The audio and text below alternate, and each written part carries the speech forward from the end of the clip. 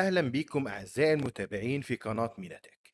أنا مينا عبده وهكون موجود معاكم النهاردة في شرح آخر module في course ال ICDL بتاعنا وهو مادة الأمن الرقمي أو ال cyber security. تابعوني بعد قليل.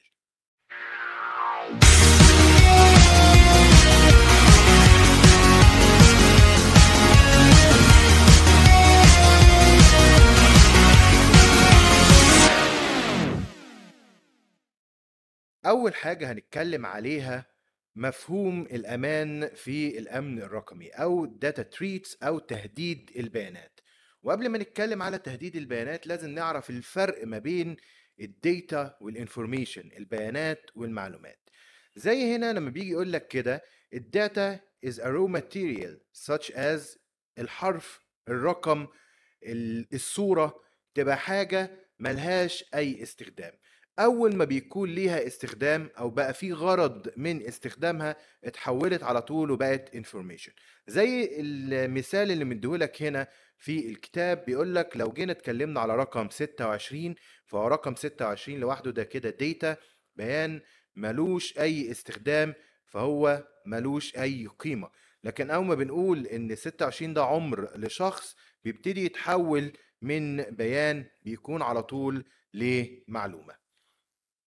بعد كده بنيجي نتكلم على ال cyber crime أو ال hacking أو الجريمة الإلكترونية وهي الجريمة اللي بتتم باستخدام جهاز كمبيوتر وإنترنت.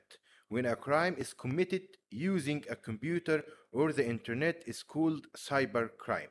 Common example of cyber crime are الأمثلة بقى الخاصة بال cyber crime أول حاجة ال identity theft سرقة الهوية. ال phishing التصيد. إن يجي شخص يحاول إن هو يحتال عليك من خلال الإنترنت عشان يسرق المعلومات الحساسة بتاعتك من خلال الإنترنت. يبتدي يحاول إن هو ياخد الاسم بالكامل العنوان الرقم القومي ال banking information المعلومات البنكية بتاعتك.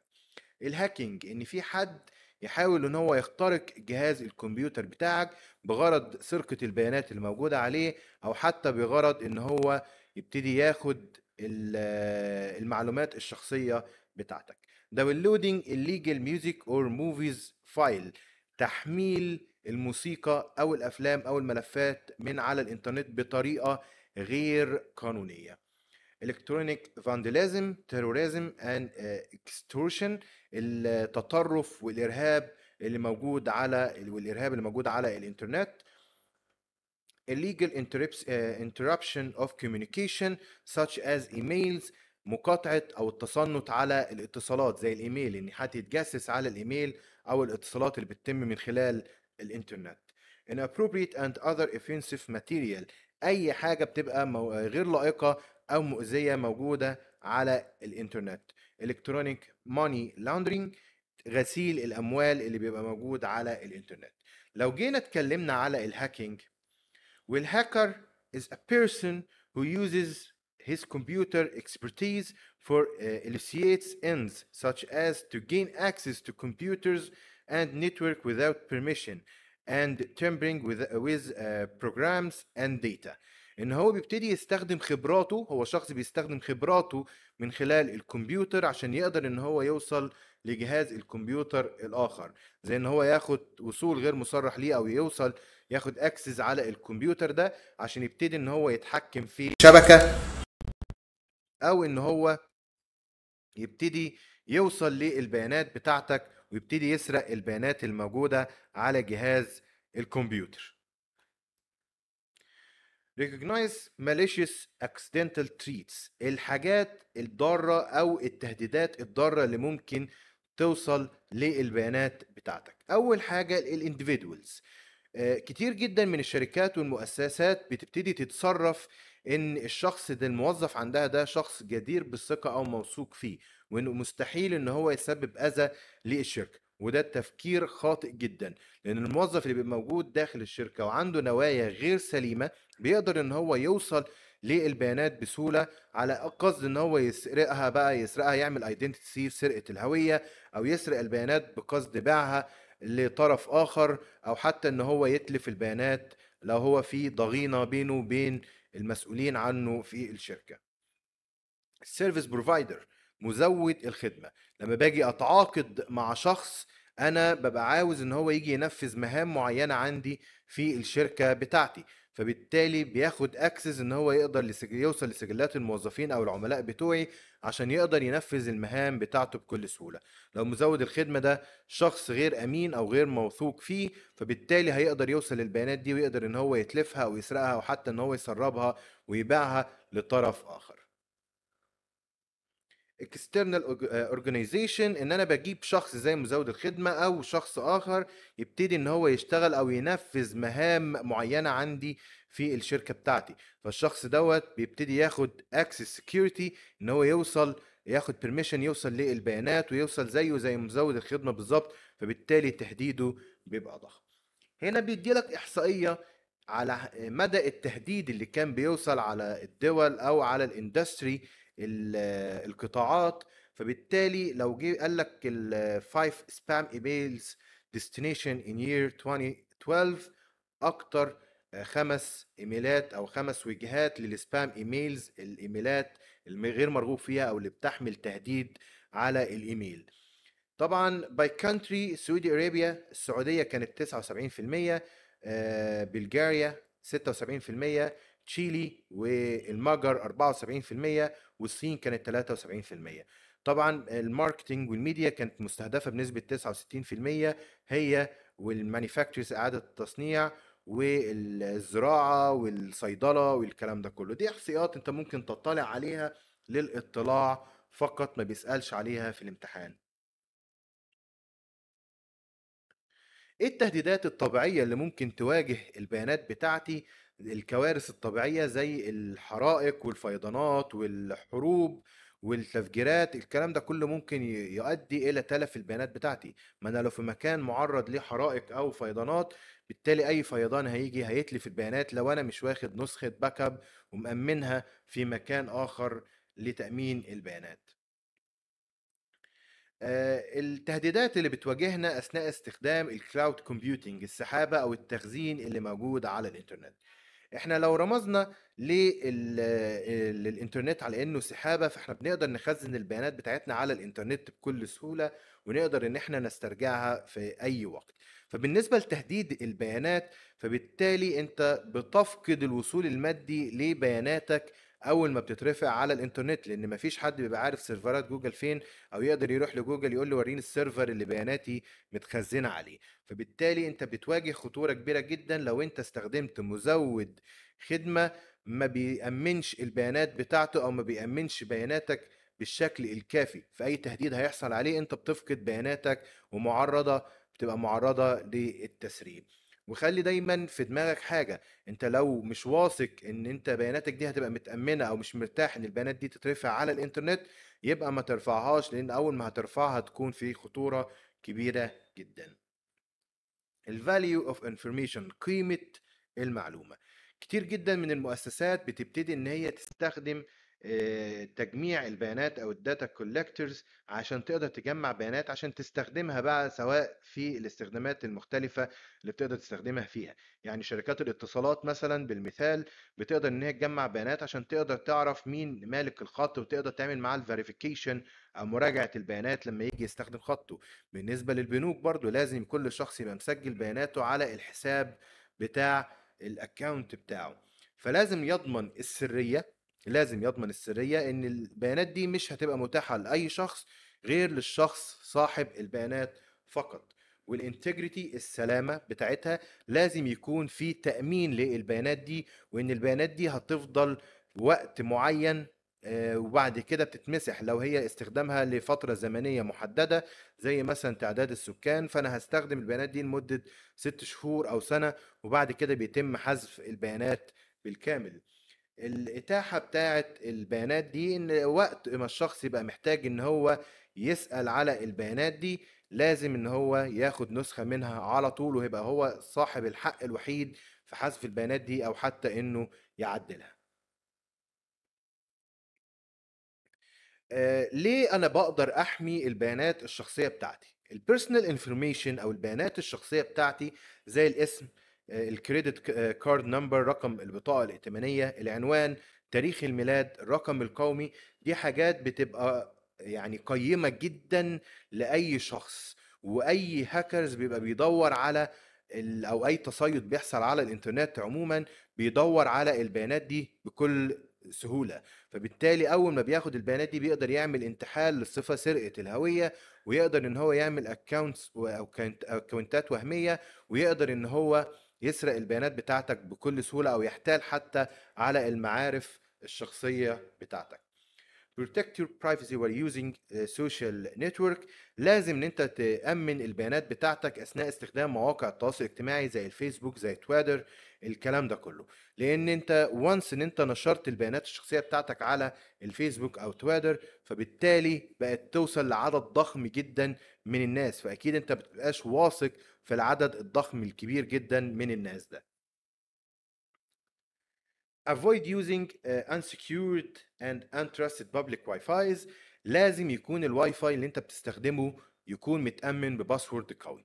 ولو أنت هتستخدم آه، واي فاي في الأماكن العامة خلي بالك لأن الأماكن العامة أغلبها ما بتعرفش مين اللي متصل معاك على شبكة الواي فاي فممكن يكون في هاكر قاعد في المكان ده وواخد ال password ويقدر إن هو يعمل hacking على كل اللي متصلين بشبكة الواي فاي اللي أنت عليها. تاني حاجة لما تلاقي ال Wi-Fi for free مجاني مفيش أي password عليه ما تفرحش لأن أكتر الهاكرز بيعملوا آه، نقاط اتصال وهمية بتدي انترنت عشان يستقطب الضحايا بتوعه ويقدر إن هو يسرق البيانات بتاعتهم. Limit the information you share about yourself. قلل المعلومات اللي انت بتشاركها عن نفسك. مش لازم أي حاجة عنك شخصية تكون متاحة من خلال الانترنت Uh, when possible avoid using your real name online. لما بتيجي تستخدم الشات عام أو مواقع التعارف يعني تجنب استخدام الاسم الحقيقي الشخصي بتاعك واستخدم دايما اسم مستعار nick name. Be curious about who is trying to be friend uh, with you online. يعني خليك حذر مين بيقدر يبعت لك طلبات صداقة من خلال الإنترنت. ودايما لو أنت مش عارف الشخص ده خليك حذر معاه عشان ممكن يكون شخص بيحاول إن هو يحتال عليك. Ensure you always have effective and update antivirus anti-spyware software running. لازم تتأكد دايما إن أنت عندك ال antivirus وال spyware اللي هو مضاد التجسس والحاجات دي متسطبة ومعمول لها تحديث عشان تاخد قاعدة البيانات الحديثة عشان تقدر تصد الفيروسات اللي ممكن تهاجمك. Log out of uh, website when you have finished working with them. يعني إيه يعني أنت لما بتكون فاتح ال account بتاعك على الموقع أو أي موقع آخر ما تقفلش الجهاز بتاعك من ال X بالشكل ده.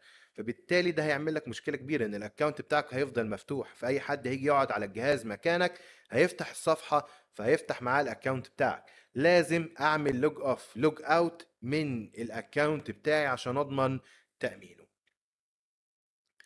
لازم أحمي ال workplace information لازم أحمي ال software source code لو أنا بعمل برامج أو بعمل برمجة لبرامج لازم أحمي ال source بتاع البرنامج ده. لأن أي حد سرق ال source ده خلاص بقى عنده ال full control أو التحكم الكامل على البرنامج ده ويقدر إن هو يسرقه أو حتى يسرق بيانات العملاء اللي موجودين عليه. Client credit card numbers and bank account details. لو أنا عندي العملاء بتوعي فلازم أحمي أرقام البطاقات الائتمانية بتاعتهم اللي متسجلة عندي وال bank account بتاعتهم عشان مفيش حد يقدر يسرقها ويستغلها ضدهم.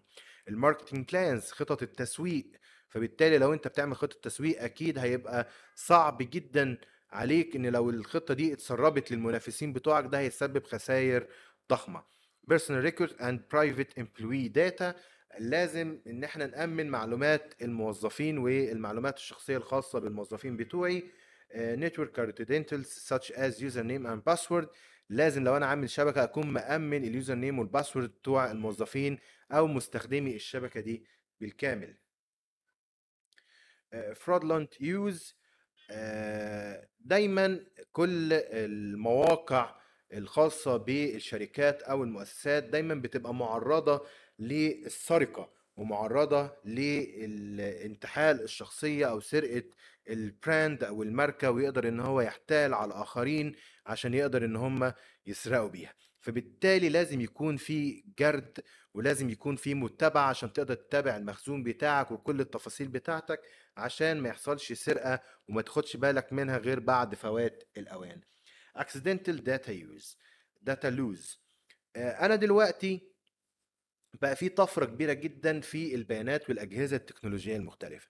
زمان أنا كنت عندي يا إما الجهاز اللي في البيت بس يا إما الجهاز اللي في البيت اللي في الشغل. أنا ما بتحركش بالأجهزة في الشارع. دلوقتي بقى في USB عليها بياناتك في جيبك بقى في تليفون عليه معلوماتك الشخصية وبياناتك في جيبك في تابلت في لابتوب. أي سرقة أو ضياع للأجهزة دي معناه ضياع للبيانات بتاعتك حتى لو أنت مش مأمنها ب password أو مأمنها فبالتالي بيبقى خطر جدا وإن البيانات دي لو ضاعت خلاص كده أنت خسرت بياناتك للأبد. Sabotage تخريب البيانات. Is usually uh, mandicate amplified with the edge of revenge from angry uh, better envious uh, employee. يعني إيه؟ يعني لما يكون عندك موظف غير أمين وحصل مشاكل ما بينكم فبالتالي الموظف ده بيسعى للانتقام. فبالتالي بيسعى لتخريب البيانات. تخريب البيانات بقصد إلحاق الضرر بمديره أو بالشركة اللي هو شغال فيها لأنه كده بيبقى كده عاوز يوصل إن هو عاوز يجيب حقه. Identify common data privacy protection. آه، أنا هحمي نفسي إزاي؟ لازم أول حاجة إن أنت تأمن البيانات الشخصية بتاعتك إن ما يكونش في أي سهولة إن أي حد يقدر يوصل للبيانات بتاعتك. بيبقى في قوانين بتحمي المستخدمين الخاصين بالإنترنت وزي القانون هنا مديلك فقرة من القانون الأيرلندي اللي بيبتدي يحمي المستخدمين وبيبتدي يعاقب كل المجرمين اللي بيحاولوا يعملوا سرقة الهوية أو الهاكينج من خلال الإنترنت. personal data must be collected in lawful and fair manner. يعني لازم إن لو في أي معلومات شخصية بيتم تجميعها لازم تكون تحت طائلة القانون ال data controller اللي هو متحكم في البيانات لازم يحط طرق واضحة لإزاي إن هو هيقدر يستخدم البيانات دي ويوضح لك هو هيحتاج البيانات دي في إيه وهيستخدمها في إيه والمدة كمان اللي هيستخدم فيها البيانات دي. Personal data must be uh, accurate and should not keep for a period uh, longer than it necessary. يعني لازم صاحب البيانات اللي هو بيدي بياناته الشخصية لازم يكون دقيق في البيانات اللي بيعطيها ويبقى عارف إن البيانات دي مش هيتم الاحتفاظ بيها آه، غير في المدة المحددة الخاصة بالموضوع ده. ال data subject أو آه، صاحب البيانات أو ال data controller إحنا قلنا دلوقتي صاحب البيانات ومتحكم في البيانات. صاحب البيانات هو الشخص اللي بيتم آه، تجميع البيانات عنه اللي هي بياناته الشخصية اللي هو ال data subject ال data controller هو الشخص اللي بيجمع أو المؤسسة اللي بتجمع البيانات دي وتبتدي إن هي تتحكم فيها. بيبقى في شوية قواعد أو قوانين بيتم أو بتحكم العلاقة بين ال data subject وال data controller obtain and process the data fairly. إن هو لازم يجمع البيانات الشخصية لازم يعرف الشخص إن هو بيجمع البيانات لإيه والمدة المحددة اللي هيجمع فيها البيانات زي ما قلنا. Keep data only for a clear and lawful purpose. أنا جمعت البيانات دي تحت طائلة القانون اللي بيسمح لي بيها ولمهام محددة وواضحة. ما ينفعش إن أنا أغير المهام بعد كده. Process data only for the purpose for which it was originally gathered يعني أنا بجمع البيانات عشان الهدف الأساسي اللي أنا جمعتها من خلاله وهستخدمها فيه ما حاولش إن أنا أتحرك أكتر من كده. keep, uh, keep data safe and secure لازم أخلي الداتا آمنة ومحمية وأوفر لها كل طرق الحماية القصوى عشان ما يحصلش أي خطأ وتتسرب البيانات دي وتعمل مشاكل. Keep data accurate and up to date لازم نخلي البيانات صحيحة ودايما محدثة. Ensure that data is adequate relevant and non excessive يعني لازم تكون ال- ال data اللي أنا جمعتها واضحة ومحددة وليها علاقة بالموضوع ما تكونش data زيادة عن الحد ملهاش علاقة بالموضوع أو حتى بيانات مختلفة. Keep, uh, keep data no longer than is necessary for the purpose uh, or purpose of collection. يعني خلاص أنا جمعت منك البيانات دي وهستخدمها مثلا لمدة ست شهور أو سنة. فخلاص خلصت المدة بيتم حذف البيانات تماما وما ينفعش أستخدمها مدة أكبر من كده. A copy of an individual's data must be provided to them upon their request. لو صاحب البيانات طلب في أي وقت نسخة من البيانات بتاعته لازم تتوفر له بسرعة وبكل سهولة.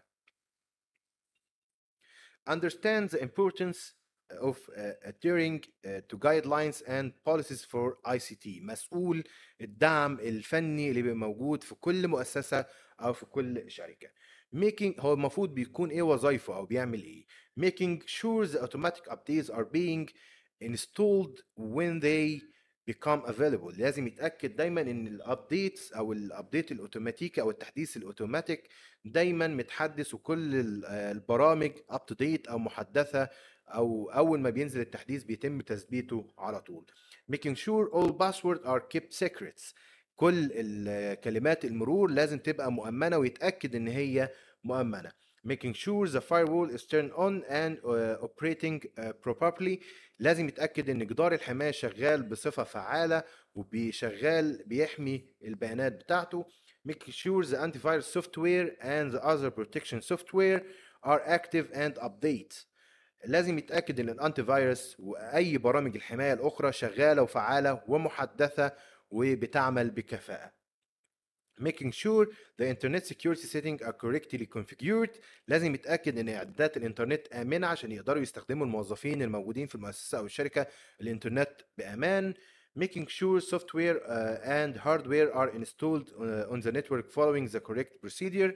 لازم يتأكد إن أي برامج أو أي أجهزة متثبتة على الشبكة مستخدمة الطريقة الصحيحه ومفيش برنامج اتثبت بطريقة غير صحيحة فبالتالي ممكن يعمل تجسس أو ممكن يعمل مشاكل.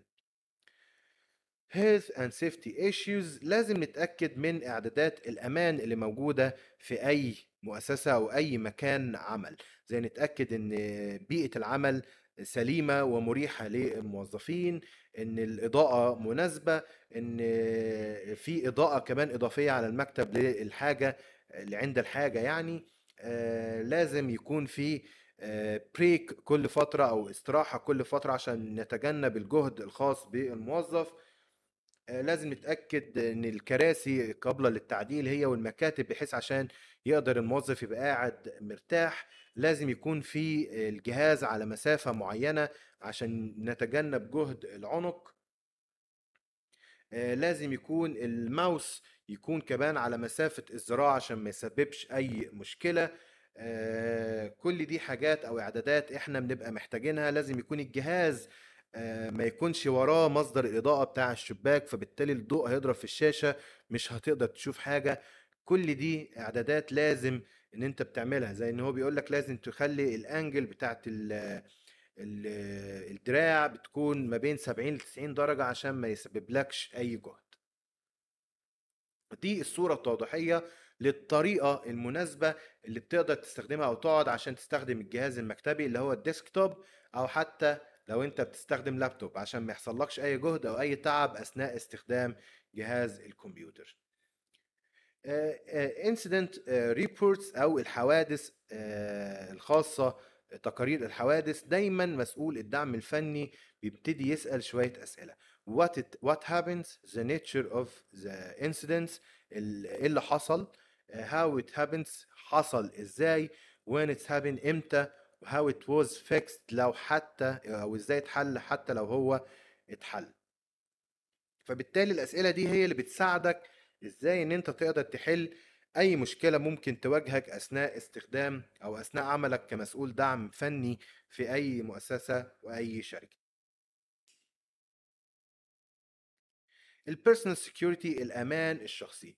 understand the term social engineering تعالوا كده نقرا التعريف وبعد كده نشرحه واحده واحده The social engineering is a practice of deceiving someone هي طريقة لخداع شخص either in person شخصي over the, the phone عن طريق الهاتف or using a computer أو عن طريق استخدام شخص جهاز كمبيوتر with the express uh, express intent of uh, preaching some level of security uh, either personal or professional discover confidential information.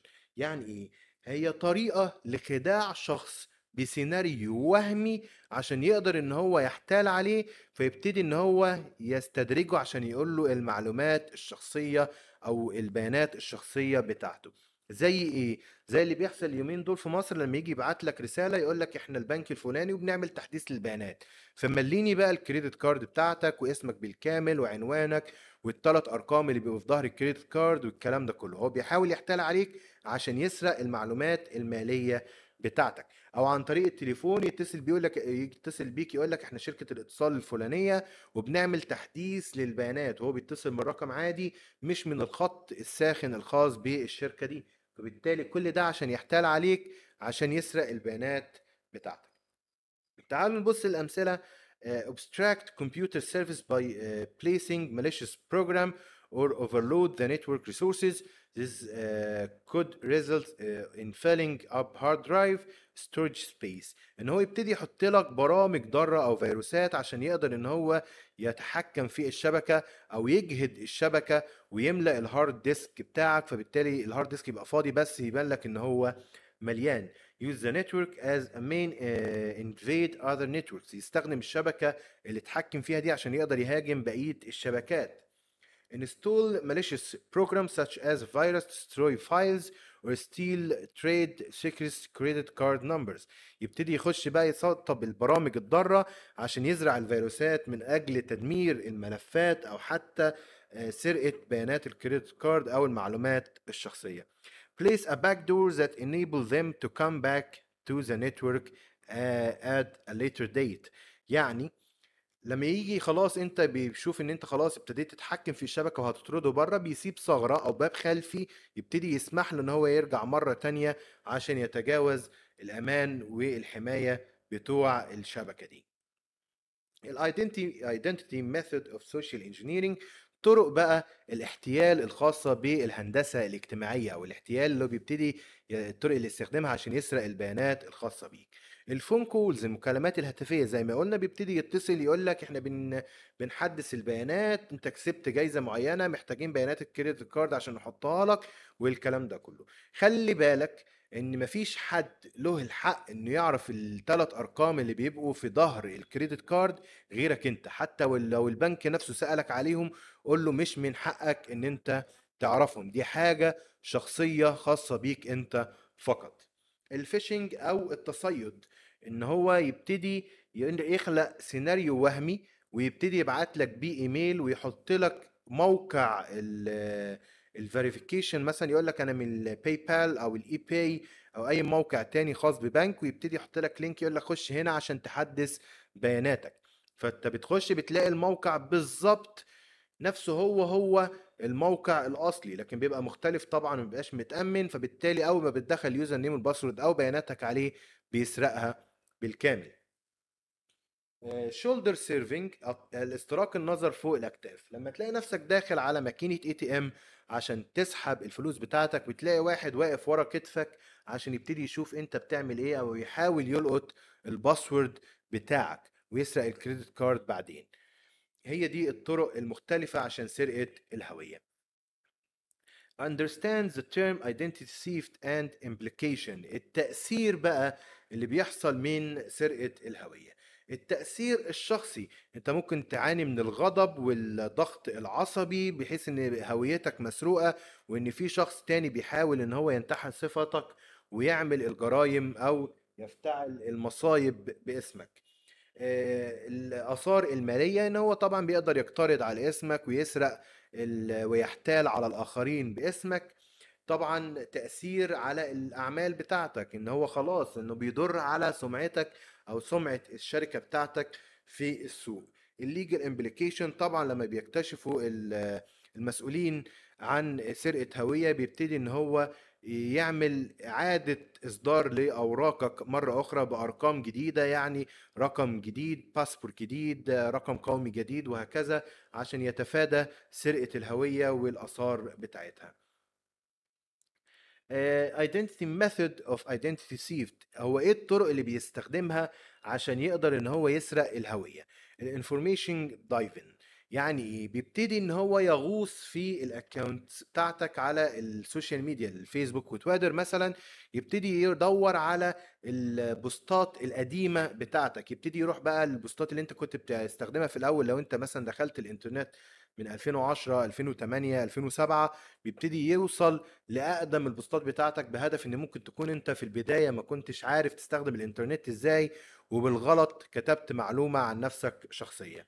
السكيمنج when uh, an employee is uh, a store uh, or a restaurant use a small electronic device to scan and record customer's credit card or other uh, scamming fit electronic device over the ATM card slot which uh, read and uh, informa- read the information uh, encoded into the magnetic stra- strap on the back يعني ايه الكلام ده السكيمنج هو بيبقى جهاز موجود في مطعم او محل تيجي انت تدفع آه، الفلوس اللي انت المفروض تدفعها الفاتورة بتاعتك عن طريق ال credit card هيدخل ال credit card بتاعتك على الجهاز بيتعمل لها نسخ و scan وبيتم على جهاز آخر عشان يسرق ال credit card بتاعتك فبالتالي بيسرق وبينسخها ويقدر إن هو يستخدمها بكل سهولة. أو جهاز بيركب وده كان موجود في مصر على فكرة الجهاز ده اللي بيركب في مكنة ال ATM عند المكان اللي بتدخل منه ال card بتاعك.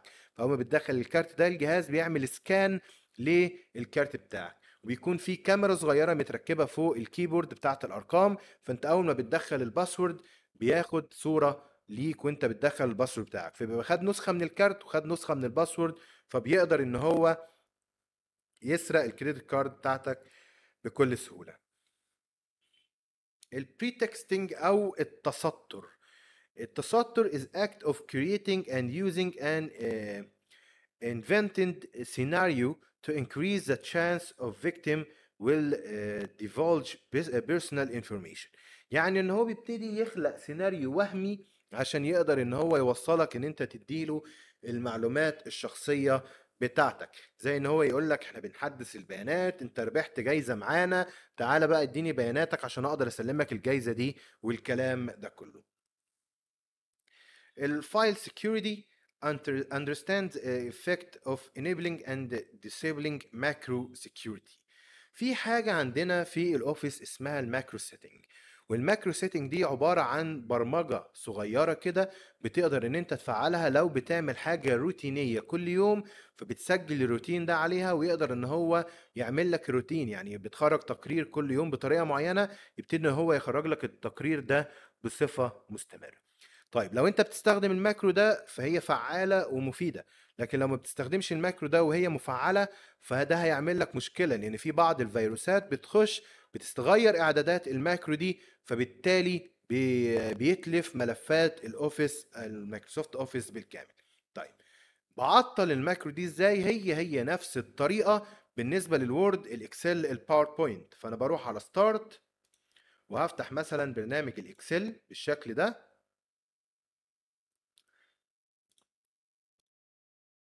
وهروح على file وبعد كده more option أو لو لقيت option هنا على طول مفيش مشكلة more options وبعد كده بروح على trust center و trust center setting وبعد كده بروح على ال macro setting وأقول له disable all macro without notifi- notification. يعني هي... هيعطلها بدون إعلام.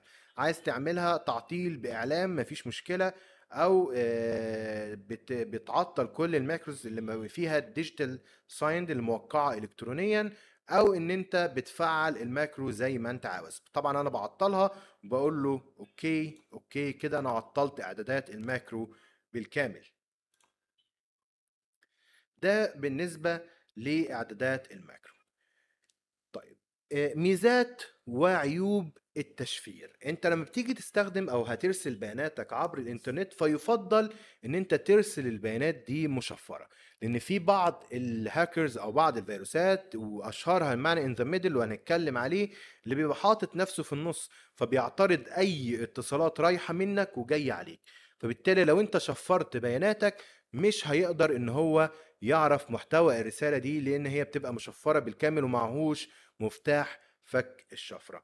طيب ال advantage بتاعتها الميزات بتاعتها ال access protection encrypt data to completely protect and you can be confident if, a hacker gain access to your يعني بتاخد تأمين كامل ودايما بتبقى مطمن واثق من نفسك إن مش هيحصل أي حاجة حتى لو وقعت الملفات دي في إيد شخص غير مصرح ليه إن هو يقراها لأنه مش هيفهم منها أي حاجة. طبعا آه، السرية أثناء النقل أنت تقدر تبعت ملفاتك المتشفرة بكل سهولة ومش هيقدر حد يطلع عليها. السرية والسلامة بتاعتها مش هيقدر إن هو لو في فيروس في النص أو حد بي بيعمل hacking أو بيتجسس بيعمل spy على الملفات في النص مش هيقدر إن هو يقراها.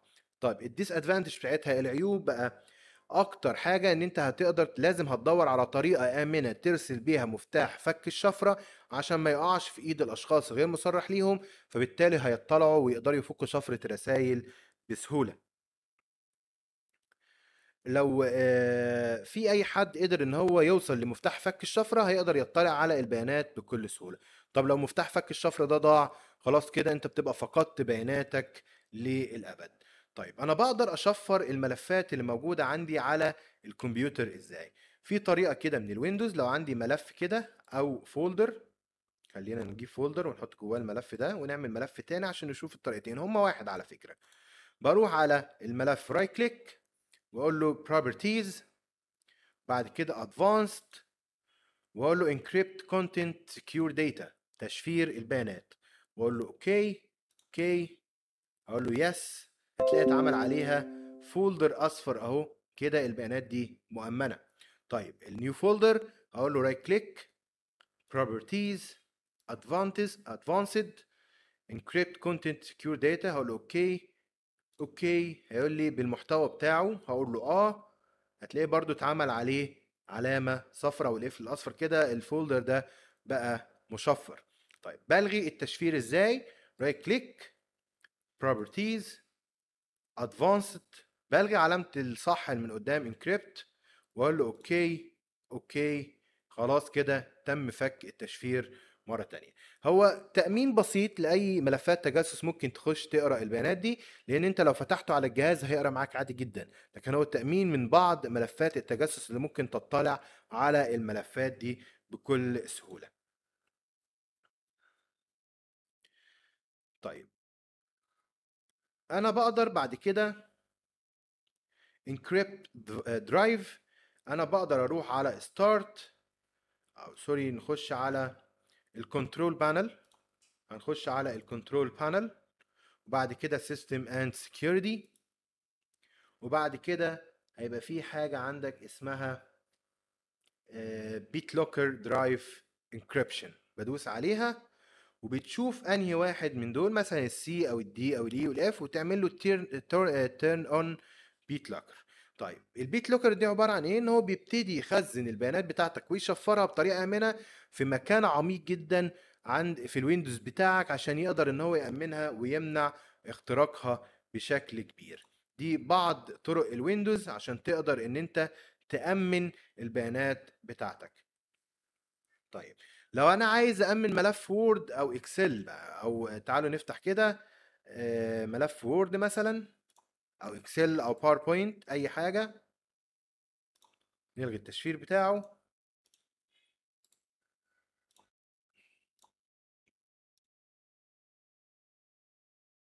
وأفتح ال Word بالشكل ده. وأبتدي بقى أنا عايز امن الملف ال Word ده وأعمل له password يعني أنا عايز أقفل الملف ال Word بتاعي ب password برقم آه، سري أو كلمة مرور. أعمل إيه؟ هروح على file وبعد كده info أو information بعد كده protect document. encrypt with password. بختار كده بيقول لك ادخل ال password بتاعك. هنقول مثلا واحد اتنين تلاتة. okay. هيقول لك re-enter the password أو confirm password. واحد اتنين تلاتة وأقول له okay. تعالوا كده نرجع نعمل save ونقفل ونفتح ملف ال Word ده أهو مرة تانية. هتلاقيه بيطلب منك ال password عشان تقدر تطلع على البيانات اللي عليه. فاكتب له كده واحد اتنين تلاتة وهقول له okay. فبقدر إن أنا أشغل ملف ال Word مرة تانية.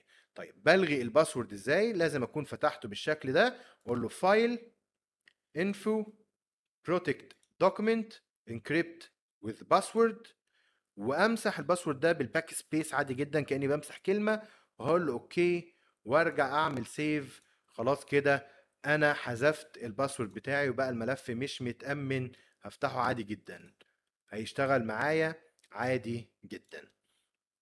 نفس الطريقة على ال Excel نفس الطريقة على ال PowerPoint عشان تقدر تأمن البيانات بتاعتك بكل سهولة. طيب ال malware type of method هي ال malware يعني إيه أصلا؟ هي اختصار لكلمة اسمها malicious software أو الملفات الضارة اللي بتبتدي تخش الكمبيوتر بتاعك بقصد التط- الضرر أو آه، سرقة البيانات أو آه، إلحاق الضرر بكل الملفات اللي موجودة عندك. في أنواع منها زي الفيروس وال وال Trojan horse وال worm وال spyware ودول هنتكلم عليهم. أول حاجة ال Trojans أو حصان طروادة Trojan horse. ده ملف بيخش على جهاز الكمبيوتر بتاعك وبيكمن ما بيعملش أي حاجة زي القصة اليونانية القديمة لما دخلوا يحتلوا مدينة آه، طروادة آه، ما بيعملش أي حاجة خالص بيكمن ولا أنت بتحس بيه ولا ال antivirus بيحس بيه لحد ما بيلاقي الثغرة اللي بيقدر ينشر نفسه منها عشان يقدر يتحكم في جهاز الكمبيوتر بالكامل. ال rootkits أو الجذور الخفية ودوت قطعة من ال malware أو الملفات الضارة بيتم تثبيته أو الهاكر بيثبته عشان يقدر إن هو ياخد تحكم كامل على جهاز الكمبيوتر بتاعك تحكم كامل على جهاز الكمبيوتر بتاعك. طبعا لازم آه، ال- ال antivirus بي- بيبقى سهل إن هو يلقط ال rootkits دي ولازم طبعا إن إحنا نكون محدثين ال antivirus عشان يقدر يتعامل معاه وأفضل طرق الحماية هي الوقاية. ال backdoors أو الأبواب الخلفية.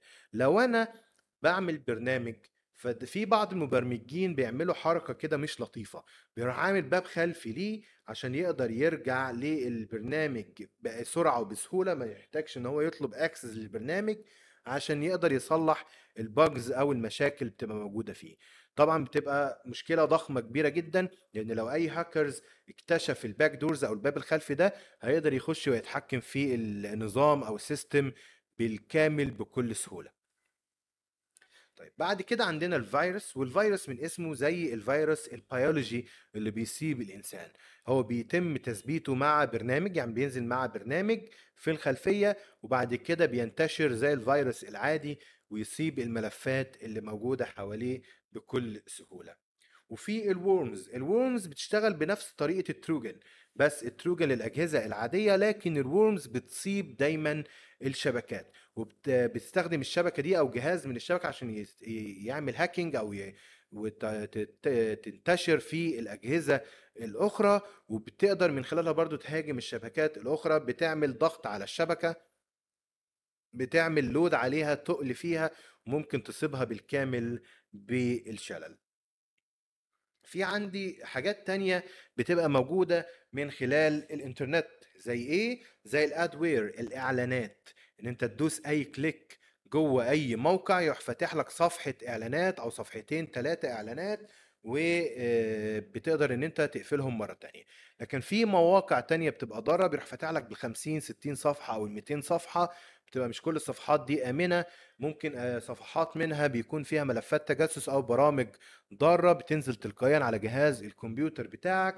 وممكن الصفحات دي بتصيب الجهاز بتاعك بالشلل ما تقدرش إن أنت تستخدمه لازم تعمل له restart وبيبقى كده عرضت نفسك للخطر.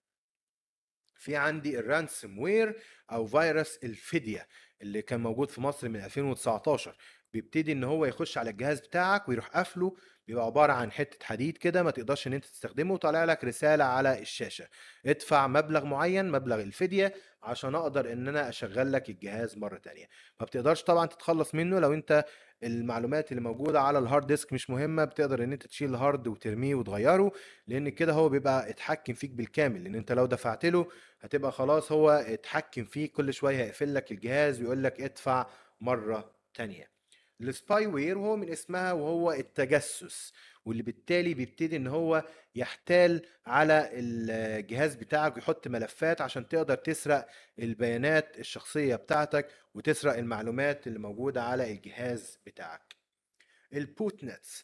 ال botnets هو روبوت أنا ببتدي أصممه كبرنامج عشان يساعدني في مهام محددة. زي إيه؟ زي إن أنا لو عايز أعمل مئة ألف عملية بحث أو مليون عملية بحث على الإنترنت أكيد مش هجيب مليون موظف ولو عملتها بالموظفين اللي عندي هتاخد وقت طويل جدا. فبالتالي بصمم البرامج دي اللي بتستخدم كل أجهزة الكمبيوتر الموجودة على الإنترنت ويبتدي يعمل لي عمليات أو ملايين عمليات البحث دي بسرعة وبسهولة في ثواني. لكن في بعض الفيروسات بتخش تستهدف ال botnets دي وتغير البرمجة بتاعتها بدل ما هي بتساعد عشان تنفذ مهام تنفذ مهام محددة بتستخدم الأجهزة اللي هي متصلة بيها عشان تدمرها وتسبب ليها التلف والضرر. ودايما بيطلقوا عليها آه، ال zombie virus عشان هي بتنتشر زي الزومبي بالظبط. ال keystroke logging هو برنامج تسجيل ضربات لوحة المفاتيح فبالتالي بيتم تثبيته على الجهاز وأي حاجة أنت بتكتبها على ال keyboard بتتسجل في الملف وتتبعت لطرف تاني عشان يبتدي يسرق يحاول يسرق أي معلومات شخصية أو بيانات شخصية أنت ممكن تكون كتبتها. لأن أنت وارد جدا تكتب مثلا معلومات ال credit card بتاعتك بتشتري حاجة من على الإنترنت الكلام ده كله. وساعات بتبقى مصاحبة بكمان برنامج بياخد كل فترة كده screenshot من الشاشة بتاعتك عشان يطابقها بالملف اللي خده من تسجيل ضربات لوحة المفاتيح. في عندنا ال dialers أو أرقام أو طالب الأرقام الهواتف. يعني إيه؟ يعني في شركات بتبتدي تستخدم ال dialers دي عشان تمنع الموظفين بتوعها إن هم يتصلوا بأرقام دولي أو تحدد لهم شبكة معينة بس هم يتصلوا من خلالها عشان ما يكلفش الشركة دي مكال يعني تكاليف كبيرة بالنسبة للفواتير الهاتفية. لكن في بعض الفيروسات بتخش تستهدف البرامج ال dialers دي عشان تغير برمجتها وتخليها تتصل بمكالمات دولي معينة أو تغير برمجتها لشبكة تانية فتكلف أو تخسر الشركة دي آه، فواتير كتيرة جدا. طيب اتكلمنا على التهديدات بنبتدي نتكلم على ال protection أو الحماية. والحماية عبارة عن إيه؟ لازم يكون عندي انتي فيروس قوي عشان يقدر إن هو يتعامل مع التهديدات المختلفة اللي ممكن تيجي على الجهاز بتاعي. زي بيعمل إيه؟ بيعمل كلين وقبل ما بيعمل كلين بيروح حاجة اسمها الكورنتين أو الحجر الصحي. والحجر الصحي إن هو بياخد الملف يحطه في الحجر الصحي عشان يبتدي إن هو يمنع أي ضرر على جهاز الكمبيوتر بتاعك ويمنع كمان انتشار الفيروس على جهاز الكمبيوتر بتاعك. ويبتدي يشوف بقى يبتدي يتعامل مع الملف ده. هل هينفع يتعمل له تنظيف كلين فبينظف الملف من الفيروس ويرجع لك الملف مرة تانية ولا بيكون فشل في تنظيف الملف ده نهائيا فبيتعمل له ديليت أو بيمسح الملف ده بالفيروس نهائيا عشان يحمي جهاز الكمبيوتر بتاعك؟ لازم نعمل update لل software بتاع ال antivirus بتاعك البرنامج. لازم نكون عاملين له تحديث. ليه بقى؟ عشان تجيله قاعدة البيانات بتاعة الفيروسات الجديدة من على الإنترنت وتعرفه إزاي إن هو يقدر إن هو يتعامل معاها. طيب آه، في تهديدات كمان بتيجي عن طريق الرسائل والإيميل زي الإيميل attachment اللي بالتالي لازم يصد البيانات بتاعتها بالكامل عشان ممكن يجي مع ال attachment ده برنامج ضار أو ملف أو link ضار ممكن ينزل منه ملف فيروس ممكن يأذي جهاز الكمبيوتر بتاعك. زي ما قلنا لازم دوريا أعمل update أو تحديث لل antivirus وأي برنامج عندي على الجهاز لازم برضو أعمل له تحديث لأن التحديثات دي بتيجي تصلح المشاكل اللي موجودة في جهاز الكمبيوتر بتاعك وبتصلح كمان في الثغرات يعني بتقفل الثغرات اللي ممكن بيتم اكتشافها اللي ممكن يخش منها الهاكر زي إن أنا أعمل لازم أعمل update لل operating system زي ال Windows ال Mac OS أو ال iOS. لازم أعمل update للبرامج زي ال antivirus ال Adobe PDF Reader ال Adobe Flash الكلام ده كله. لازم أي application تبع آه، الكمبيوتر بتاعي لازم أكون عامل له التحديث عشان يصد أو يقفل الثغرات ويحل المشاكل بتاعته. هنا بيعرفك إزاي تتعامل مع برنامج ال AVG الخاص بال antivirus هو ممتاز وكل حاجة بس ال AVG دايما بيبقى فيه عيب ما بيصلحش أي ملفات. لو اكتشف فيروس دايما بياخد الخيار الأول والأخير ليه إن هو يمسح الملف ده. فبالتالي أفضل برنامج انتي فيروس أنت ممكن تتعامل بيه اللي هو الافيرا أو الأفاست. طيب لو أنا جيت بقى استخدمت برنامج من مصدر غير موثوق يعني أنا لو عايز برنامج فأنا أروح أشتريه من الموقع الرسمي بتاعه. طب لو أنا جبت البرنامج المفروض إن هو بفلوس رحت منزله بطريقة مجانية فده أنا هزود المخاطر بتاعة الجهاز بتاعي. إن ممكن البرنامج ده هينزل مع فيروس هيبقى فيه ملف تجسس هيبقى معمول له كراك ممكن الكراك ده يكون فيه تجسس أو فيروس يأذي الجهاز بتاعي. أو لو أنا استخدمت برنامج قديم القديم ده يعني اتوقف تحديثه فبالتالي مش هيصلحوا فيه المشاكل مش هيصلحوا منه يقفلوا الثغرات فبالتالي هيكون في تهديد موجود عندي في جهاز الكمبيوتر ممكن يسبب لي مشاكل ضخمة جدا. هنا بيعرفك يعني إيه حجر صحي وزي ما اتكلمنا عليه هو مكان بيتم وضع فيه الفيروسات عشان ما ينتشرش الفيروس ده لبقية الملفات زي ما بيكون في حد بني آدم تعبان شوية أو عنده كورونا مثلا لا قدر الله بيتم وضعه في في الحجر الصحي عشان ما ما يعديش بقية الناس اللي حواليه. نفس فكرة الكورنتين أو الحجر الصحي بتاع الانتي فيروس إن هو بياخد الملف في الحجر الصحي عشان ما يأذيش بقية الملفات اللي حواليه. طيب هو ممكن ال malware attack أو التهديدات اللي ممكن تهاجمك من خلال الإنترنت ممكن تيجي من خلال إيه؟ يعني some of benefits of online antivirus يعني أنت ممكن تصدها من خلال الإنترنت أو مواقع اسمها الوي أو برامج اسمها ال web based application اللي هي المبنية على المتصفح اللي من خلالها بتقدر إن أنت آه، تأمن نفسك من خلالها. زي إن أنا ممكن أروح على موقع لل antivirus وأعمل scan من خلال ال website ده بيبقى زيادة تأكيد إن هو بيروح على الأماكن اللي بيتوقع إن الفيروس بيبقى فعال فيها ويعمل scan عليها.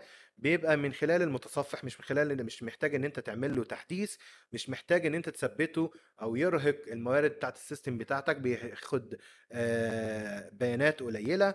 متحدث تلقائي لأن هو من على ال database الشخصية بتاعته. فبالتالي مش محتاج إن أنت تحدثه ان هو بيبقى واخد ال virus signature أو توقيع الفيروسات تلقائيا من ال website بتاعه.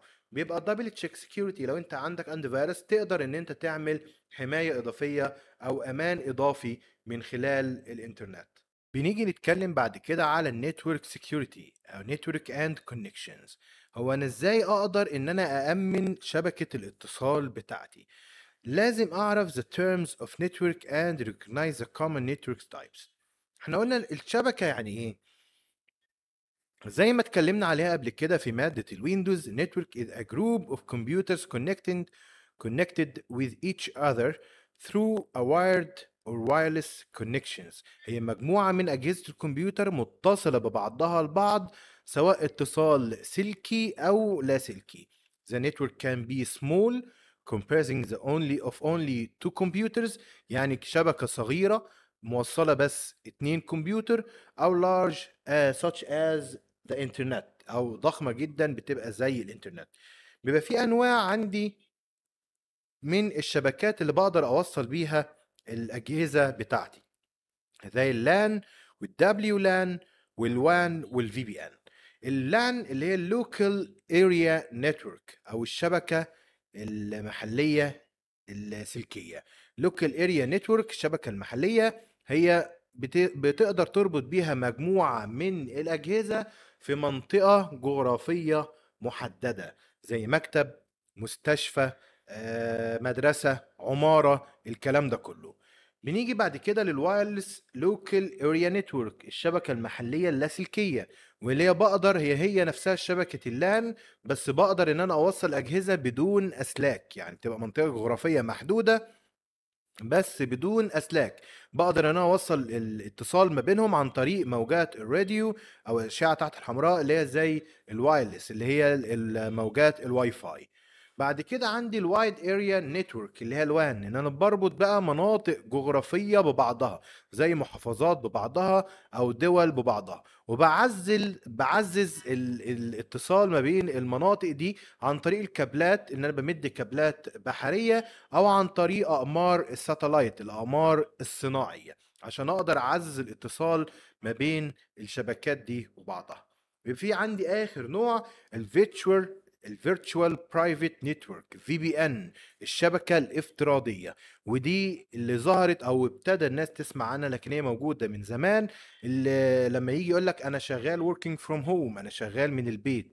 فأكيد لما هخلي الموظف بتاعي يشتغل من البيت مش همديله access point عشان أعزز له إشارة الواي فاي أو امديله أسلاك من الشركة لبيته. فأنا بعمل شبكة افتراضية عشان أربط الجهاز بتاعه اللي موجود في البيت بالشبكة اللي موجودة في الشركة ويشتغل كأنه موجود في الشركة بالظبط التهديدات اللي ممكن تصيب الشبكة بتاعتي زي المالوير الفيروسات الضارة أو الملفات الضارة اللي ممكن تصيب الشبكة وبتقدر تصيب طالما إن هو هاجم كمبيوتر واحد بس في الشبكة ويتمكن منه قدر إن هو يوصل لبقية الأجهزة اللي متصلة بالشبكة بسهولة.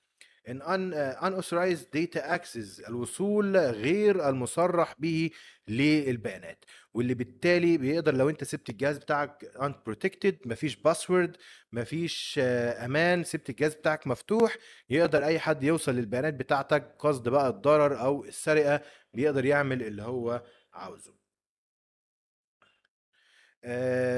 Maintaining privacy الأمان with uh, uh, guarding against unauthorized access to your data. It's better to encrypt your information. يعني لزيادة الأمان uh, لازم مع الباسورد كمان اللي تبقى بتبقى عامله لجهازك إن أنت تعمل تشفير للبيانات بتاعتك عشان مفيش حد يقدر يوصل للبيانات دي مرة تانية. Understand uh, authorization of accounting uh, monitoring and installing relevant security. يعني الأمان بتاع الشبكة والمراقبة للشبكة من خلال مسؤول الدعم الفني. assigning user account and password هو اللي بينشئ ال user name وال password اسم المستخدم وكلمات المرور. establishing security access levels هو اللي بيحدد صلاحيات ال accountات دي. يعني لو عندي أكتر من موظف فاللي بيشوفه موظف ال HR مش زي اللي بيشوفه أو بيقدر الملفات اللي بيوصل لها ال HR مش زي اللي بيوصل لها الملفات بتاعة الحسابات وهكذا وما ينفعش يطلعوا على الملفات الخاصة بالقسم الآخر. Allocating storage space هو اللي بيحدد المساحات والتفاصيل الخاصة بالتخزين وأجهزة التخزين كمان. Watching for unauthorized access بيتابع التفاصيل الخاصة بالوصول غير المصرح ليه ومين بيحاول يوصل لمكان مش المفروض إن هو يوصل له وبيتابع الفيروسات زي ال Trojan horse والملفات الضارة بتبقى موجودة. بيعمل الإعدادات والأجهزة وتوصيلات الأجهزة والبرامج والنظام أنظمة التشغيل زي الويندوز بيظبط الإعدادات دي كلها وزي اللي بيوصل ال printers بيخلي البيئة جاهزة للعمل. بيتأكد من تفاصيل الحماية و بيفعل شبكات ال VPN وبوابات الدخول عشان يقدر يربط الموظفين بشغلهم لو هم بيشتغلوا من أماكن بعيدة. ال authentication أو تحديد الهوية وبتبقى أكتر من طريقة يا إما بال user name أو ال password أو بال biometric المقاييس الحيوية اللي بالتالي بيبقى ما ينفعش إن هي تتشابه من شخص لآخر زي ال fingerprint اللي هي بصمة الصباع ال retina pattern اللي الرسم التوضيحي ال handwriting ال style الإمضاء ال voice pattern اللي هو النمط الصوتي وهكذا. ال authorization إن أنا بتأكد إن الشخص ده هو الشخص المصرح ليه إن هو يطلع على البيانات اللي موجودة في ال account ده من خلال الطرق المختلفة زي ال user name وال password أو المقاييس الحيوية اللي هي بصمة الصباع العين الوجه وهكذا. ال accounting إن هو بيبتدي بقى يعمل monitor على الشبكة ويبتدي يشوف مين بيتعمل تسجيل دخول مين عمل تسجيل خروج مين بيحاول يخش في منطقة مش مصرح ليه إن هو يخشها التهديدات اللي ممكن تواجه الشبكة أثناء عملها. Installing relevant security patches and updates. بيبتدي إن هو يعمل التحديثات والبرامج الأمان المختلفة عشان يأمن الشبكة. وزي ما قلنا من شوية إن هو بيتابع الحركة في الشبكة network monitoring network traffic عشان يقدر إن هو يشوف لو في أي حاجة خرجت عن المألوف يتصدى لها ويحمي الشبكة بتاعته. Dealing with malware fraud within a network أي بقى تهديدات بتخش أو ملفات تجسس أو تجسس أو فيروسات بيبتدي إن هو يتعامل معاها بكل سهولة. طيب بنيجي نتكلم على ال firewall أو جدار الحماية والمحدوديات بتاعته. إحنا قلنا قبل كده إن جدار الحماية هو الجهاز أو البرنامج اللي بيعمل عملية ال filtration أو التصفية لأي حاجة من ال inter جاية من الإنترنت وبيبتدي إن هو يبعدها يبعدها. طيب المحدوديات بقى A firewall cannot prevent user or attack attackers with modem from dialing into or out of internal network. يعني ما يقدرش يمنع التهديدات الداخلية من الأشخاص اللي متصلين من جوه الشبكة. ال firewalls cannot uh, enforce your password policy uh, or prevent meshes uh, of passwords. يعني لو أنت عامل باسورد ضعيف مش هيجي يقول لك أمن الباسورد بتاعك أو هو يامنه لك مش هيحصل كده. طالما الباسورد بتاعك ضعيف هتخترق بسهولة. Firewalls are uh, in- ineffective against uh, non-technical security risk such as social engineering لو بيحصل عليك اي هندسه اجتماعيه أو احتيال مش هيخش يقول لك خلي بالك انت المفروض تكون educated أو متعلم وعارف المواضيع دي كلها uh, firewall cannot stop internal user from access website with malicious code لو في حد من جوه الشبكه بيفتح موقع ضار مش هيقدر ان هو يمنعه آه، firewall are آه، boot آه، bottleneck bottleneck يعني بيبقى في نقطة واحدة لمرور كل البيانات. والنقطة دي ممكن يحصل لها اختناق لو البيانات زادت عليها فيحصل ضرر وفقدان الاتصال بالإنترنت. بفعل ال firewall إزاي أو أقدر إن أنا ألغيه؟ بروح على ال control panel وبقدر أخش على ال system and security وبعد كده هتلاقي هنا في ال firewall Windows Defender firewall بتقدر إن أنت تعمل له allow أو advanced setting أو change Windows Defender أو آه، هنا بتبقى ال advanced setting إن أنت تقدر تعمل له on or off عشان تقدر تشغل أو تقفل ال firewall بتاعك. ده بالنسبة لل firewall عشان نقدر إن إحنا نشغله أو نقفله لو إحنا محتاجين حماية إضافية للجهاز بتاعك. بنيجي نتكلم بعد كده على ال wireless security وال wireless ال wireless security إن أنت لما ابتدت ابتدينا نستخدم الواي فاي عشان نقدر نتصل بالإنترنت كان أول حاجة في تأمين الواي فاي اللي هي ال WEP اللي هي ال wired equivalent privacy وده كان إن هو بيعمل حزام أو حزمة مفتاح تشفير للبيانات كلها مرة واحدة مفتاح فك تشفير للبيانات كلها مرة واحدة. وده بقى قديم وبقى سهل اختراقه بكل سهولة. عشان كده بقينا بنقدر في إعدادات الراوتر إن إحنا نعدل على التأمين بتاعه ونختار ال Wi-Fi protected access اللي هو ال WPA وده اللي بياخد كل حزمة لوحدها ويشفرها ويقدر إن هو يبعتها ويستقبلها عشان يدي حماية أكتر. بس برضو بقى في تهديدات عليه فعملوا له firmware upgrade عشان نوصل لل Wi-Fi protected access 2 WPA2 وفي منه العادي وفي منه ال enterprise اللي هو ال personal وال enterprise ال personal اللي هو الشخصي وال enterprise الخاص بالشركات. وده بي- بيبقى بيعمل زيادة تأمين لحزم البيانات المرسلة من خلال الواي فاي بتاعك لكل حزمة بيعمل مفتاح تشفير وفك شفرة فبالتالي والحاجات دي بتتغير بكل فترة فبالتالي بيعمل أمان على اتصال الواي فاي بتاعك. طبعا في بيقدر إن هم يخترقوه آه بيقدروا إن هم يخترقوه عشان كده بيبقى في عندنا تأمين آخر زي ال service set identifier ال SSID أي واي فاي أنت بتعمل له setup لازم تعمل له اسم للشبكة. وبيبقى من 32 characters اللي هو الحروف يعني أو الرموز وبالتالي بيبقى اسم الشبكة بتاعتك. أنت تقدر تعمل hide للشبكة دي من إعدادات الراوتر بتاعتك فبالتالي أي حد عاوز يتصل على الشبكة دي لازم يعمل عليها search يكتب اسمها وبعد كده ال password ونوع الحماية بتاعها اللي هو WPA على WPA2 وبعد كده بتقدر إن أنت تتصل عليها جدا. بس برضو مش مدي نسبة الأمان 100% عشان كده عندنا ال media access control MAC وال MAC address ده بيبقى رقم خاص بجهاز الكمبيوتر أو بالتليفون بتاعك. رقم فريد من نوعه ما ينفعش إن هو يتكرر مع أي جهاز تاني وبيبقى عبارة عن mixed ما بين الحروف والأرقام بالشكل ده زي 48-3D 0A 7103 CB ده بيبقى رقم MAC address مثلا.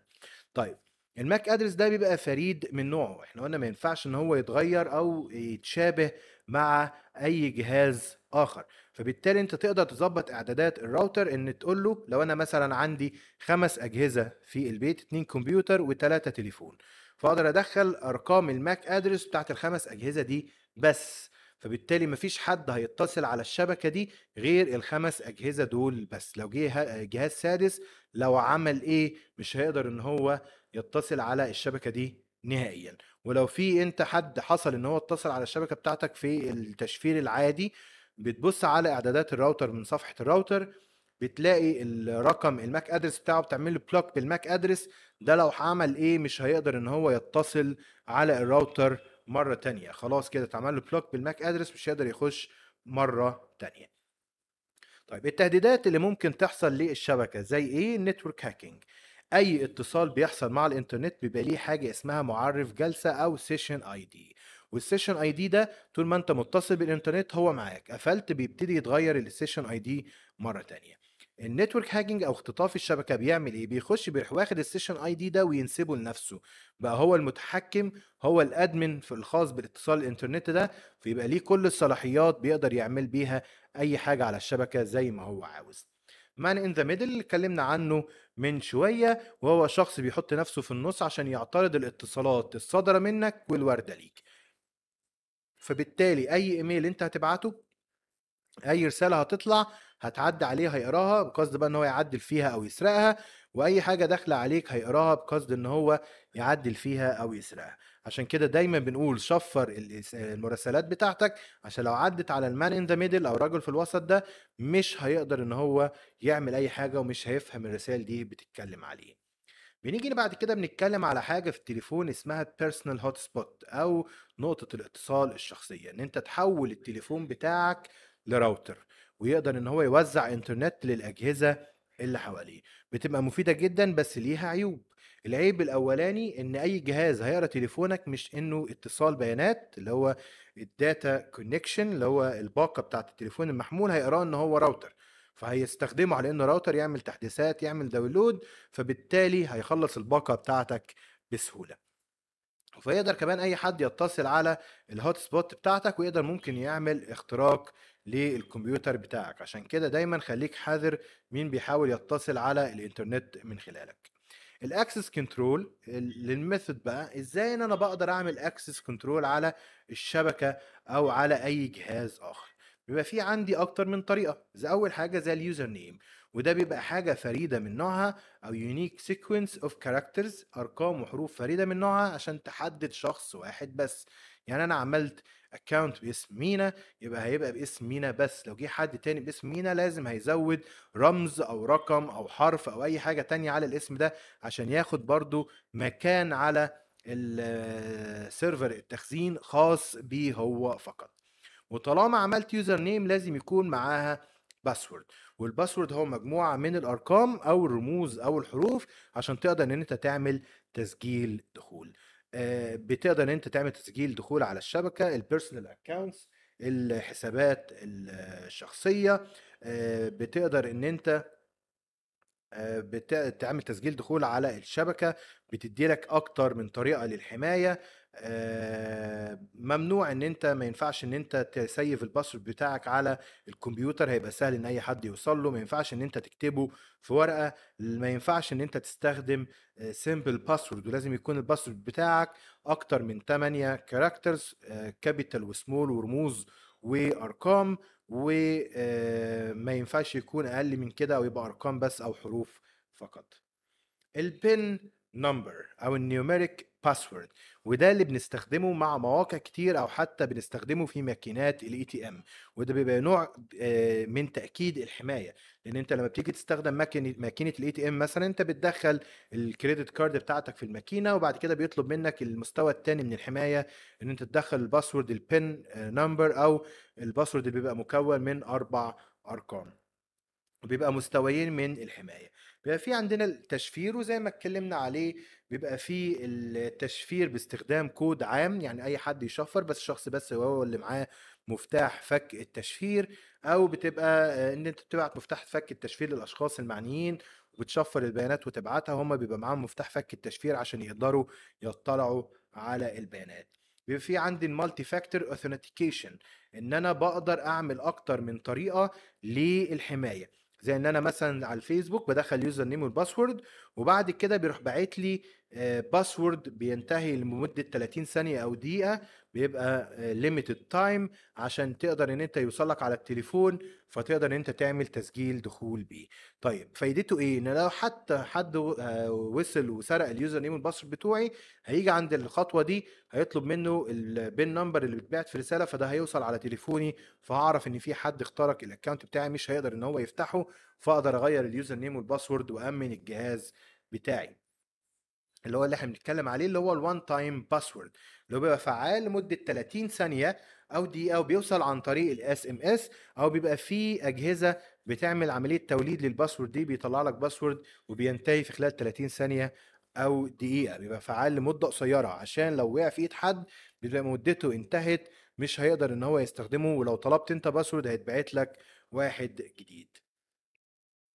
طب هو أنا ليه بعمل account على ال network عشان امن الحساب وامن البيانات اللي موجودة على الشبكة وأحدد الصلاحيات؟ ما مش أي حد يقدر يفتح الملفات اللي موجودة على الشبكة فيبقى القسم ال HR الملفات الخاصة بيه لقسم الحسابات الملفات الخاصة بيه وهكذا. طيب لازم يكون في طبعا إحنا قلنا account ال network لازم يكون في username و password طب أنا لو خلصت بقى التعامل مع ال account الخاص بال network هعمل إيه؟ لازم أعمل log out لأن إحنا اتفقنا لو قفلت من ال X أو سبت الجهاز ومشيت هيفضل شغال فبالتالي أي حد هيقعد هيفتح ال account مرة تانية. فلازم أعمل log out أو log off من الجهاز عشان خاطر أقفل الحساب بتاعي عشان لو في حسابات أخرى وأي أي حد جه قعد مكاني يفتح الحساب الخاص بيه هو ما ينفعش يفتح الحساب بتاعنا.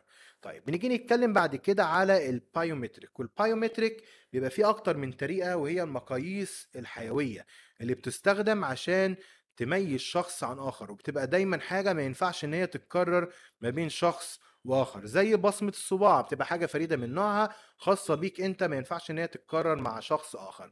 ال eye scanning زي مسح القزحية والشبكية. القزحية إن هو بيجيب المكان اللي خلف بؤبؤ العين وبيبقى من 60 سم وبعد كده بياخد لقطة للعين. لكن الشبكية إن هو بياخد ال pattern للخطوط اللي موجودة جوه قاع العين وبيسلط ضوء بتبقى صعبة جدا لأنه بيسلط ضوء لمدة 10 15 ثانية على العين وده بيبقى مزعج جدا. والأشخاص اللي بيبقى عندهم اعتام في عدسة العين بيبقى عندهم مشكلة في استخدام المقاييس دي. طيب في عندنا بعد كده ال face recognition بصمة الوجه. وديت إن بيبتدي يعمل خوارزميه بياخد مكان عظام الوجه ويبني حاجة فريدة من نوعها بتبقى خاصة بيك أنت. وال voice recognition إنه بياخد نمط الصوت بتاعك ويسجله عشان تقدر تفتح ال account ده بصوتك. وال hand geometry إن هو بياخد آه برضه خوارزمية كده للإيد بتاعتك الكف الإيد ويشوف الفصلات ما بين العقلة والعظم والعظام بتاعت كف الإيد عشان يبني خوارزمية تبقى خاصة بيك أنت وما ينفعش إن هي تتكرر. طيب بنيجي نتكلم على ال password management وإزاي إن أنا أقدر أعمل password قوي. أول حاجة don't share your password with other users. ال password ده حاجة خاصة بيك أنت ما ينفعش إن أنت تشاركها مع أي شخص آخر. Don't use words in the dictionary or easily guessed like password such as password let me in access ما تستخدمش كلمات سهلة. ممكن أي حد يتوقعها زي إن أنت تعمل password بتاعك كلمة password let me in أو access. دي بتبقى سهلة جدا إن أي حد يتوقعها. غير ال password كل 60 يوم. عشان لو في حد بيعمل hacking عليك بتخليه إن هو يعيد من الأول. use password at least 8 characters in length لازم يكون أكتر من 8 حروف. uh, لازم يكون mixed بين capital و small وحروف وأرقام ورموز اللي هي ال non-alphabetic characters لو في عندك خلاص انت هتكتب كلمة شيل الحروف اللي ينفع تتشال وحط بدالها أرقام شبيهة. يعني لو انت بتستخدم hello شيل ال E وحط 4 وال L وحط واحد وال O وحط zero use different password of every, of every different accounts. لو عندك فيسبوك تويتر انستجرام خلي يكون في password لكل account ما ينفعش كل ال accounts بتاعتك تبقى ب password واحد. عشان لو حصل لا قدر الله في account وقع منهم اتهاك عليه يبقى بقية ال accounts محمية ما يبقاش كلهم بنفس ال password هيجرب نفس ال password مع الباقي هيفتحهم عادي جدا. طيب ال limitation password manager software بيبقى فيه بعض البرامج اللي بتقدر إن أنت تسيف عليها ال password بتاعتك وبتقفل البرنامج ده من بره ب password كبير فبالتالي بتبقى مأمن البيانات بتاعتك بالداخل. المزايا بتاعته إن هو بيشتغل عن طريق ال USB flash drive مش محتاج إن أنت تعمل له install بي بيقدر إن هو يشفر البيانات بداخله فبيأمن البيانات بصفة كبيرة جدا ال password بتاعتك. آه، بتاخد ال password عن طريق ال copy paste مش محتاج إن أنت تكتبهم فبيحميك من ال keystroke logging اللي هو تسجيل ضربات المفاتيح. آه، بيعمل generating random complex password يعني هو بيولد لك password قوي تقدر تاخده copy paste ومش محتاج إن أنت تحفظه فبالتالي بيعمل لك password قوي جدا. المحدوديات بتاعته إن أنت بتبقى كل المعلومات الحساسة بتاعتك متخزنة في مكان واحد. لو حد عمل hacking وكشف ال password بتاع البرنامج قدر يوصل لكل معلوماتك بكل سهولة. لو هو بيولد password ضعيف فبالتالي هيبقى سهل إن هو يتم اختراقه بسهولة. إن أنت تعمل برنامج زي ده بيخالف ال process بتاعت إن أنت تعمل password قوي لأن أنت already من أساسياتها إن أنت ما ينفعش تكتب password فأنت كده خالفت الأساسيات وكتبت ال password جوه برنامج. طيب secure web use ال browser settings أنا في إعدادات بقدر أعملها في ال browsers بتاعتي أو المتصفح بتاعي عشان أقدر إن أنا امن استخدامي للإنترنت. أول حاجة عندي ال auto complete أو الإكمال التلقائي. يعني إيه؟ يعني أنت لما بتيجي تستخدم أي متصفح وبتيجي تكتب أي user name و password بيبتدي إن هو يكمل لك بقية ال user name وال password عادي جدا. طيب على الجهاز بتاعك تمام. طب لو على جهاز خارجي ما ممكن يكمل ال user name وال password وممكن يكمل أي حاجة أنت كنت بتستخدمها للبنك account مثلا المعلومات البك البنكية فبالتالي يسرق البيانات بتاعتك. طيب بلغي الإكمال التلقائي إزاي عشان أقدر امن نفسي؟ بروح على Tools في ال Internet Explorer طبعا عشان الامتحان Tools Internet Options بعد كده بروح على Content بلاقي هنا في حاجة اسمها ال AutoComplete بدوس على ال Settings وبلغي ال AutoComplete اللي موجود بالشكل ده وأهمها طبعا ال user name and password in form اللي في النماذج ال user name وال password اللي في النماذج بالشكل ده بدوس okay okay فبلغي الإكمال التلقائي بالكامل عشان ما يقدرش يعمل لي أي مشكلة. طيب بنيجي بعد كده لل deleting browsing history محفوظات الاستعراض. إحنا عارفين إن أي متصفح بيسجل البيانات بتاعتك بكل سهولة. أي موقع أنت زرته أي user name و password أي حاجة أنت بتعملها بيخزنها. فبالتالي أمسح الحاجات دي إزاي؟ عشان ما فيش أي ملف تجسس ياخدها أو أي حد يعرف أنا بفتح مواقع إيه أو يعرف ال user name وال password بتوعي. بروح على Tools Internet Options بلاقي هنا في browsing history بدوس على delete بعلم على كله بالشكل ده. وبعد كده لو قال لي all delete all browsing history يعني وأقول له delete وبعد كده okay فأنا مسح مسحت كل ال browsing history اللي موجودة عندي. ده كده عشان أقدر إن أنا امن استخدامي للإنترنت. secure browsing. إزاي أقدر إن أنا أتصفح الإنترنت بطريقة آمنة؟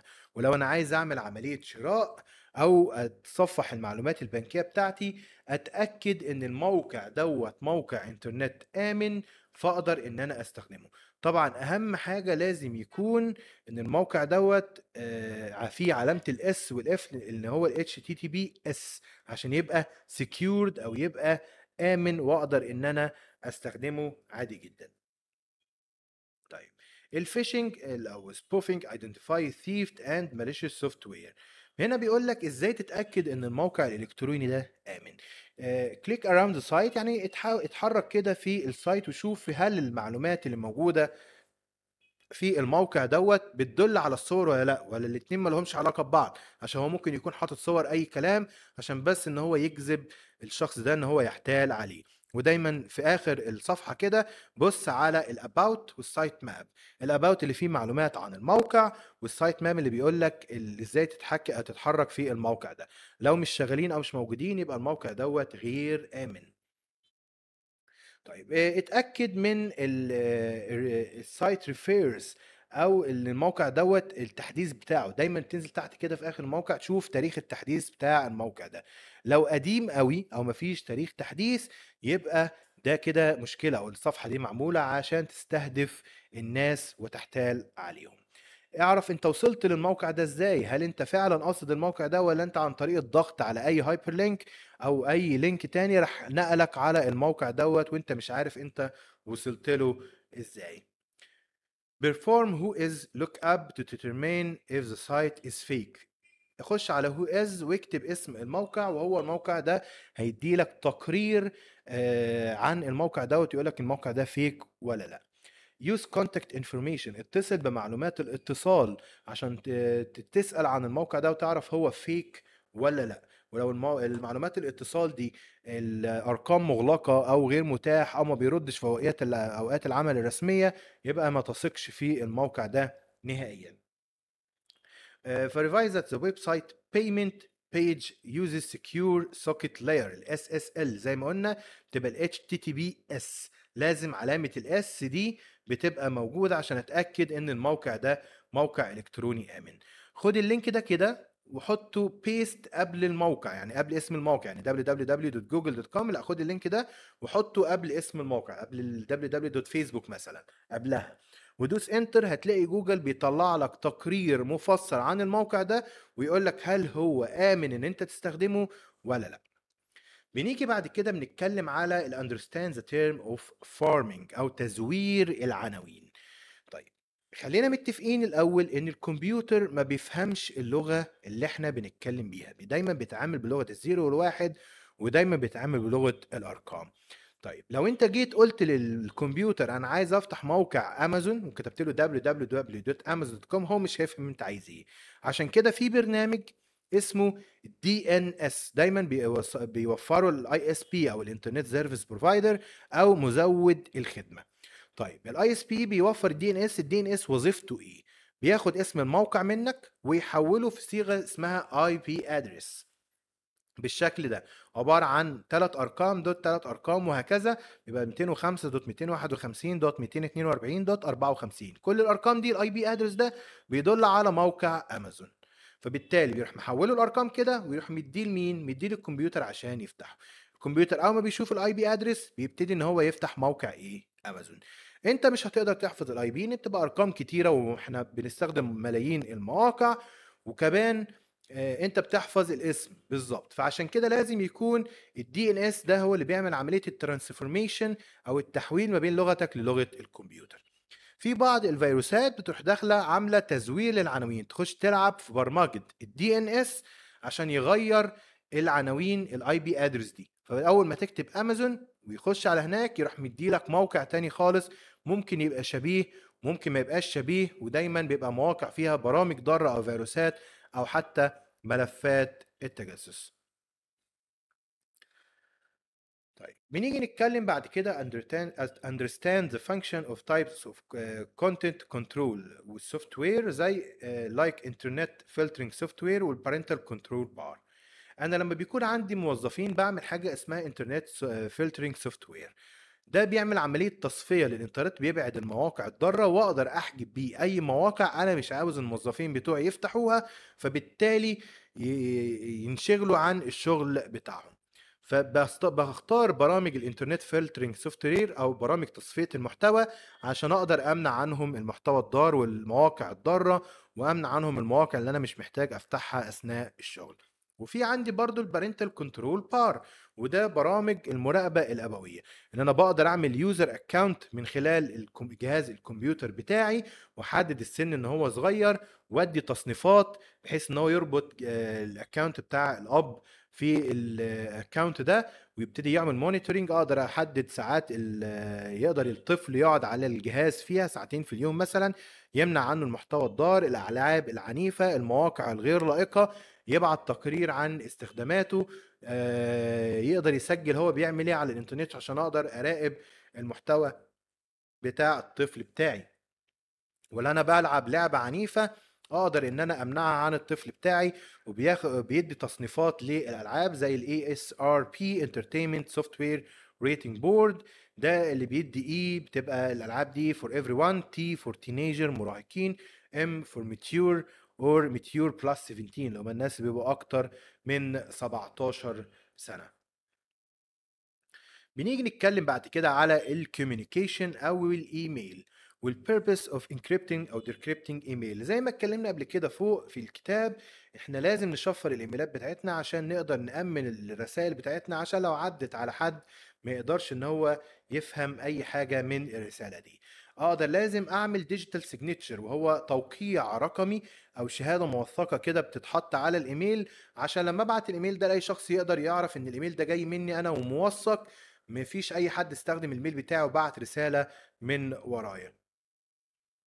طيب دايما بيحصل إن ال- الإيميل بيبقى فيه خدمة ذكاء اصطناعي وخدمة الذكاء الاصطناعي دي بتعمل عملية فلترة للرسائل وأي رسائل بيبقى فيها مشاكل أو تهديدات بتنزل على طول في ال- ال junk mail أو ال unsolicited mail أو ال spam mail ال folder ده اللي ال mail بيبتدي يديلك تنبيه إن الرسالة نزلت جوه دي فيها خطر أو جايز يكون فيها تهديد فخلي بالك.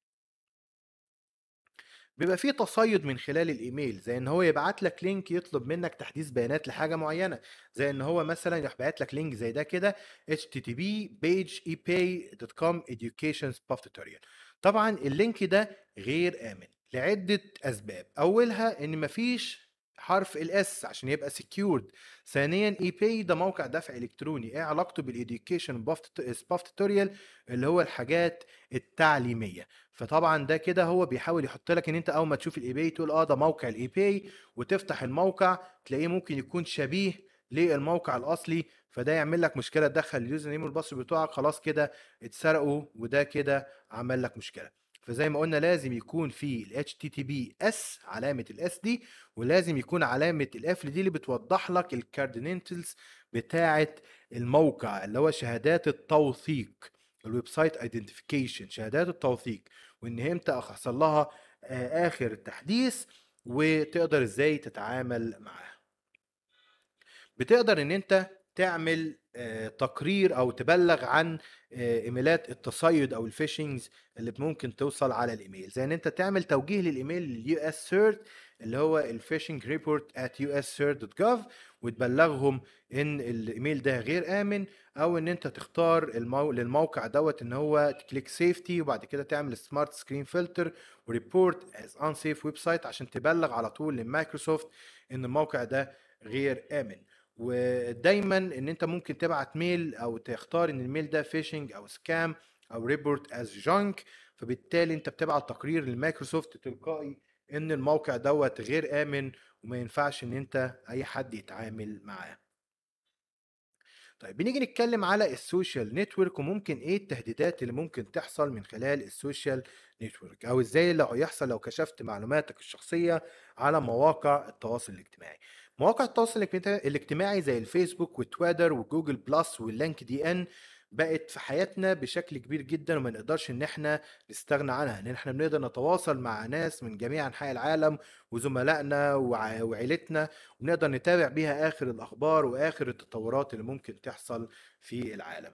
فبالتالي بيبقى في شوية حاجات بيقولك لازم إن أنت تتبعها عشان تأمن نفسك من خلال استخدام مواقع التواصل الاجتماعي. زي don't share business or personal confidential information. ما تشاركش المعلومات الشخصية أو المالية الخاصة بيك. Configure آه، privacy settings. ظبط إعدادات الخصوصية بتاعة الاكونت بحيث محدش يقدر يوصل للبيانات بتاعتك أو تبقى للأصدقاء فقط عشان مفيش حد يقدر يسرق البيانات بتاعتك أو ما تبقاش متاحة للناس الغرباء بتوعك. To not to add your location. ما دايما ما تعملش check in وال location بتاعك عشان دايما في ناس بتتتبع الحاجات دي ممكن يقدر إن هو يسبب لك الضرر من خلالها. Be careful who you add as a friends uh, or what group you uh, or page you join. آه، خلي بالك مين بيحاول يضيفك كصديق وال groups وال page اللي بيبقى فيها آلاف الناس ممكن يكون فيهم ناس بيبقوا عاوزين يقصدوا الضرر للي حواليهم.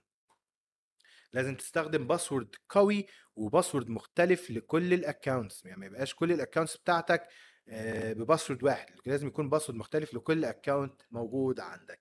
Be careful when clicking a link another page or running an online applications. خلي بالك من اللينكات اللي أصحابك بيبعتوها أو بينزلوها على صفحاتهم اللي ممكن ما يكونش هم اللي عاملين الحكاية دي فبالتالي تتعرض للهاكرز أو التجسس من خلالها.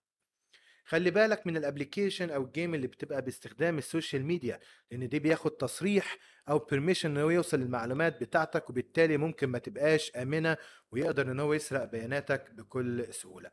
هنا بيوضح لك إن كل موقع زي الفيسبوك مثلا بيبقى ليه إعدادات ال privacy أو الخصوصية واللي بتقدر تظبطها عشان ما فيش أي حد يقدر يقدر يوصل للبيانات بتاعتك زيه زي تويتر بالظبط. بنيجي نتكلم بعد كده على ال cyber bullying أو التنمر اللي موجود على الإنترنت. وال cyber bullying is using the internet to insult threaten intimidate or harass someone. يعني أنت بتستخدم الكمبيوتر والإنترنت عشان تقدر إن أنت تأذي أو تهدد أو تقل أو تشتم شخص على الإنترنت أو حتى إن أنت تتحرش بيه. وطبعا الحاجات دي بقت موجودة كتير جدا على الإنترنت وبيبقى فيه حملات توعية ضد التنمر من خلال الإنترنت. وطبعا الكلام ده كله بيتم من خلال fake profile عشان ما فيش حد يقدر يعرف هوية المتنمر. في ال grooming أو الشخص اللي بيحاول يعمل أو بناء بيبني establish a friendship بيبني صداقة مع الطفل من خلال الإنترنت. قصد بقى التحايل عليه أو الضرر بيه وهكذا. فلازم نوعي الأطفال وخصوصا المراهقين إن ما ينفعش إن هو يبني صداقة مع شخص أكبر منه. Malicious disclosure of personal content الكشف عن المعلومات الشخصية بقصد الضرر زي إن هو يمسك حد ويروح كاشف المعلومات الشخصية بتاعته زي الاسم بالكامل والعنوان ورقم التليفون ويتسبب له بضرر الناس تعرف المعلومات الشخصية بتاعته ويتعرض لسرقة الهوية أو السرقة سرقة البيانات المالية بتاعته.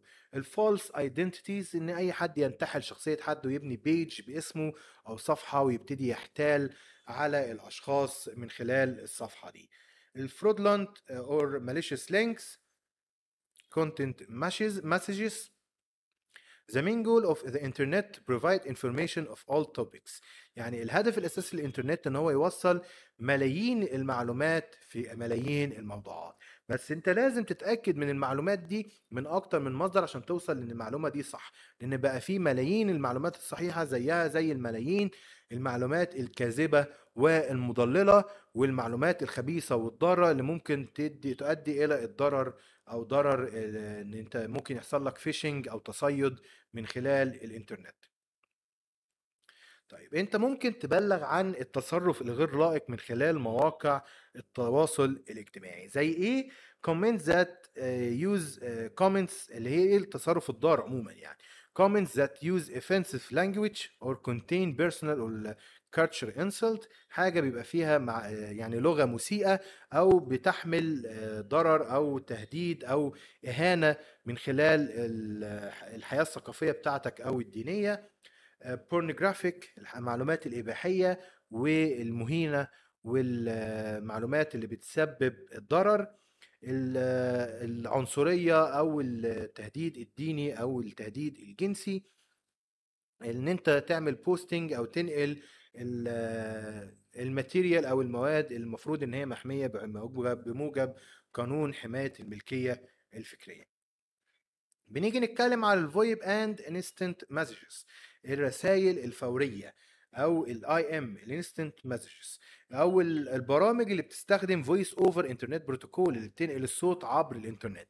البرامج ال instant messages اللي هي بتقدر تبعت منها رسائل أو إيميلات فورية زي الواتساب الماسنجر ال emails زي ال Outlook ال Gmail الكلام ده كله. برامج ال VoIP اللي بتقدر تعمل منها مكالمات صوتية أو مكالمات فيديو من خلال الإنترنت زي ال Skype والواتساب والماسنجر وال Line وال Viber والكلام ده كله. بيبقى فيه تهديدات ممكن توصل من خلال ال IM أو ال VoIP زي ال Trojan وال SMS malware والكلام ده كله إن بيبقى فيه تهديدات ممكن توصل من خلال الرسائل الخاصة بالهاتف أو البرامج دي بكل سهولة. فعشان كده لازم encrypt your all your uh, the files you share with your contacts لازم تعمل لها تشفير. Never reveal your uh, entire name ما تكشفش عن اسمك بالكامل بيكفي الاسم الأول. uh, use antivirus لازم تستخدم antivirus ويكون متحدث. uh, لازم تتأكد إن نظام التشغيل وكل البرامج متفعله ومعمول لها تحديث ومقفول كل الثغرات اللي فيها. لازم تعمل شير للملفات مع الأشخاص اللي أنت بتثق فيهم فقط. لازم تتعلم إزاي تكشف عمليات التصيد الاحتيالي. زي ما قلنا ال mobile malware ممكن توصل عن طريق ال SMS عن طريق ال application ففي تهديدات كتيرة فلازم يكون في antivirus على التليفون عشان يقدر يحمي أو يأمن البرنامج ده. ال application permission أنت لما بتيجي تثبت أي برنامج على جهاز التليفون بيطلع لك صفحة كده ويبتدي يقول لك إن البرنامج ده محتاج بعض ال permission أو الصلاحيات. زي إيه؟ Directly call phone numbers إن هو هيبتدي يستخدم آه إن هو يتصل بأرقام هواتف. طبعا ده بيستخدمها برامج زي Skype Google Talk الواتساب الحاجات دي كلها محتاج إن هو يتصل لو أنت هتعمل مكالمة من خلاله. Receive and send SMS or MMS البرامج اللي بترسل الرسالة تحتاج تاخد ال permission ده. Read your contacts البرامج اللي بتبعت رسائل برضو بتحتاج ال permission ده زي الواتساب محتاج يوصل لل contacts بتوعك عشان يقدر يبعت لهم رسالة أو تقدر تتواصل مع زملائك.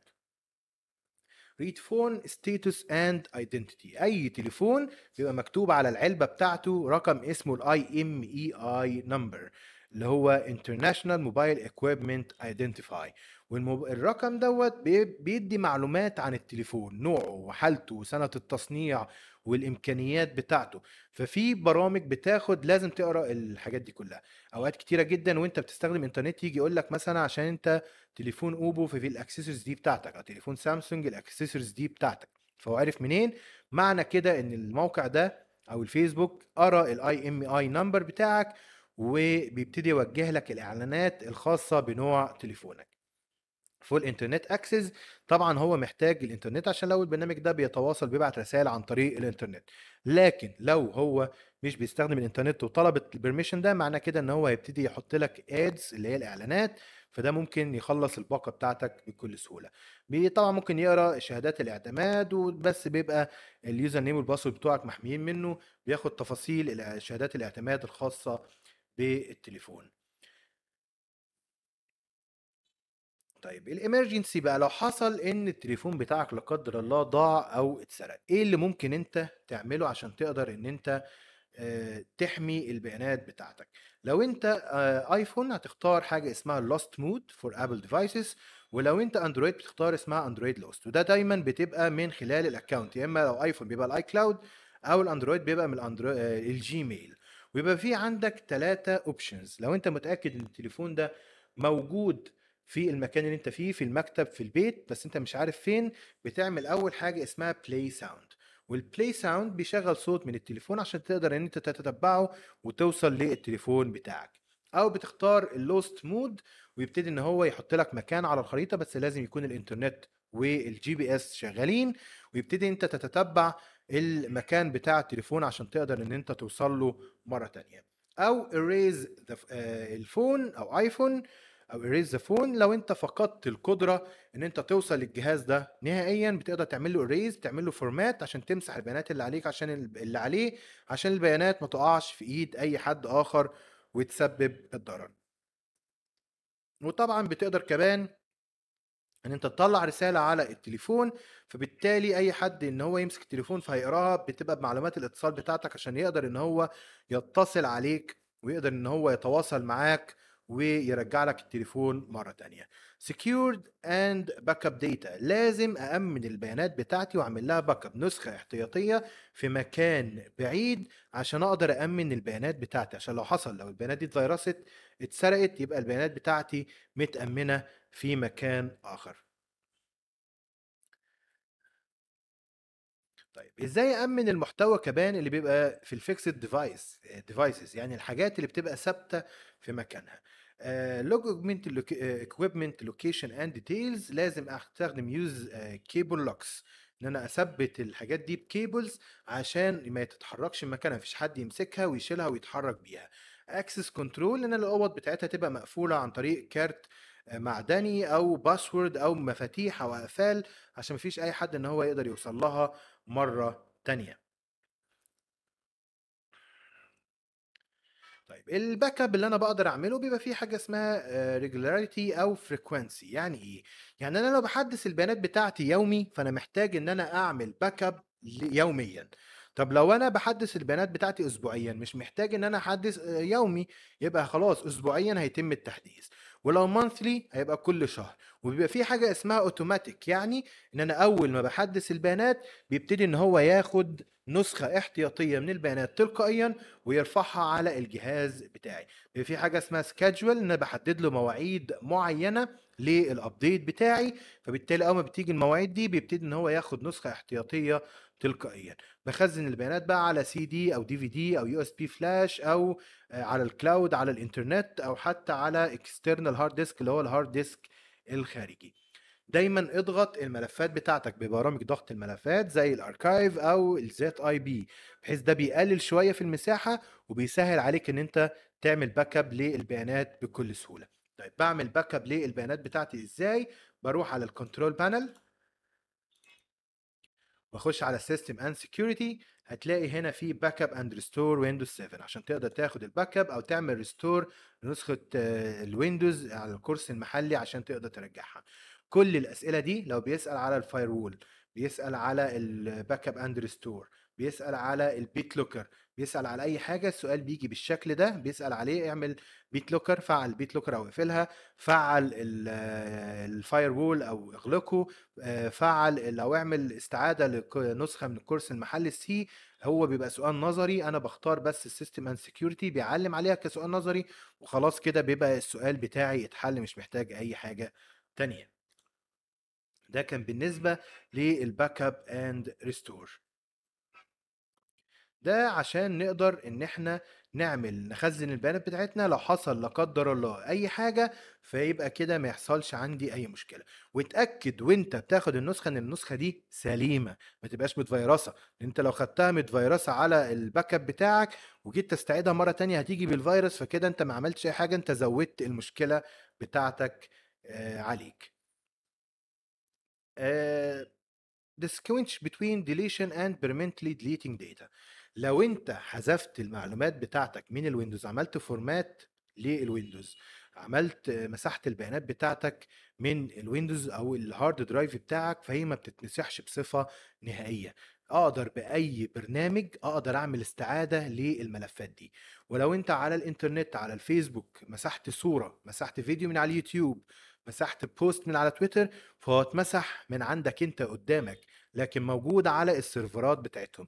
فمعنى كده إن البيانات اللي موجودة على الإنترنت أو ال Windows ما بتتمسحش بصفة نهائية بتبقى موجودة برضو. عشان كده بيبقى في برامج وهنتكلم على برنامج منهم بتقدر إن أنت تنزله اسمه File Shredder عشان يقدر إن هو بيعمل إيه؟ بيعمل أكتر من طبقه يعني بينزل بيانات ويمسحها وينزل صور وهمية ويمسحها وهكذا بأكتر من طبقة بحيث لو حد اشترى ال hard بتاعك أو الكمبيوتر بتاعك وجي يسترجع البيانات هيسترجع البيانات بتاعت برنامج File Shredder ومش هيسترجع البيانات الخاصة بتاعتك نهائيا.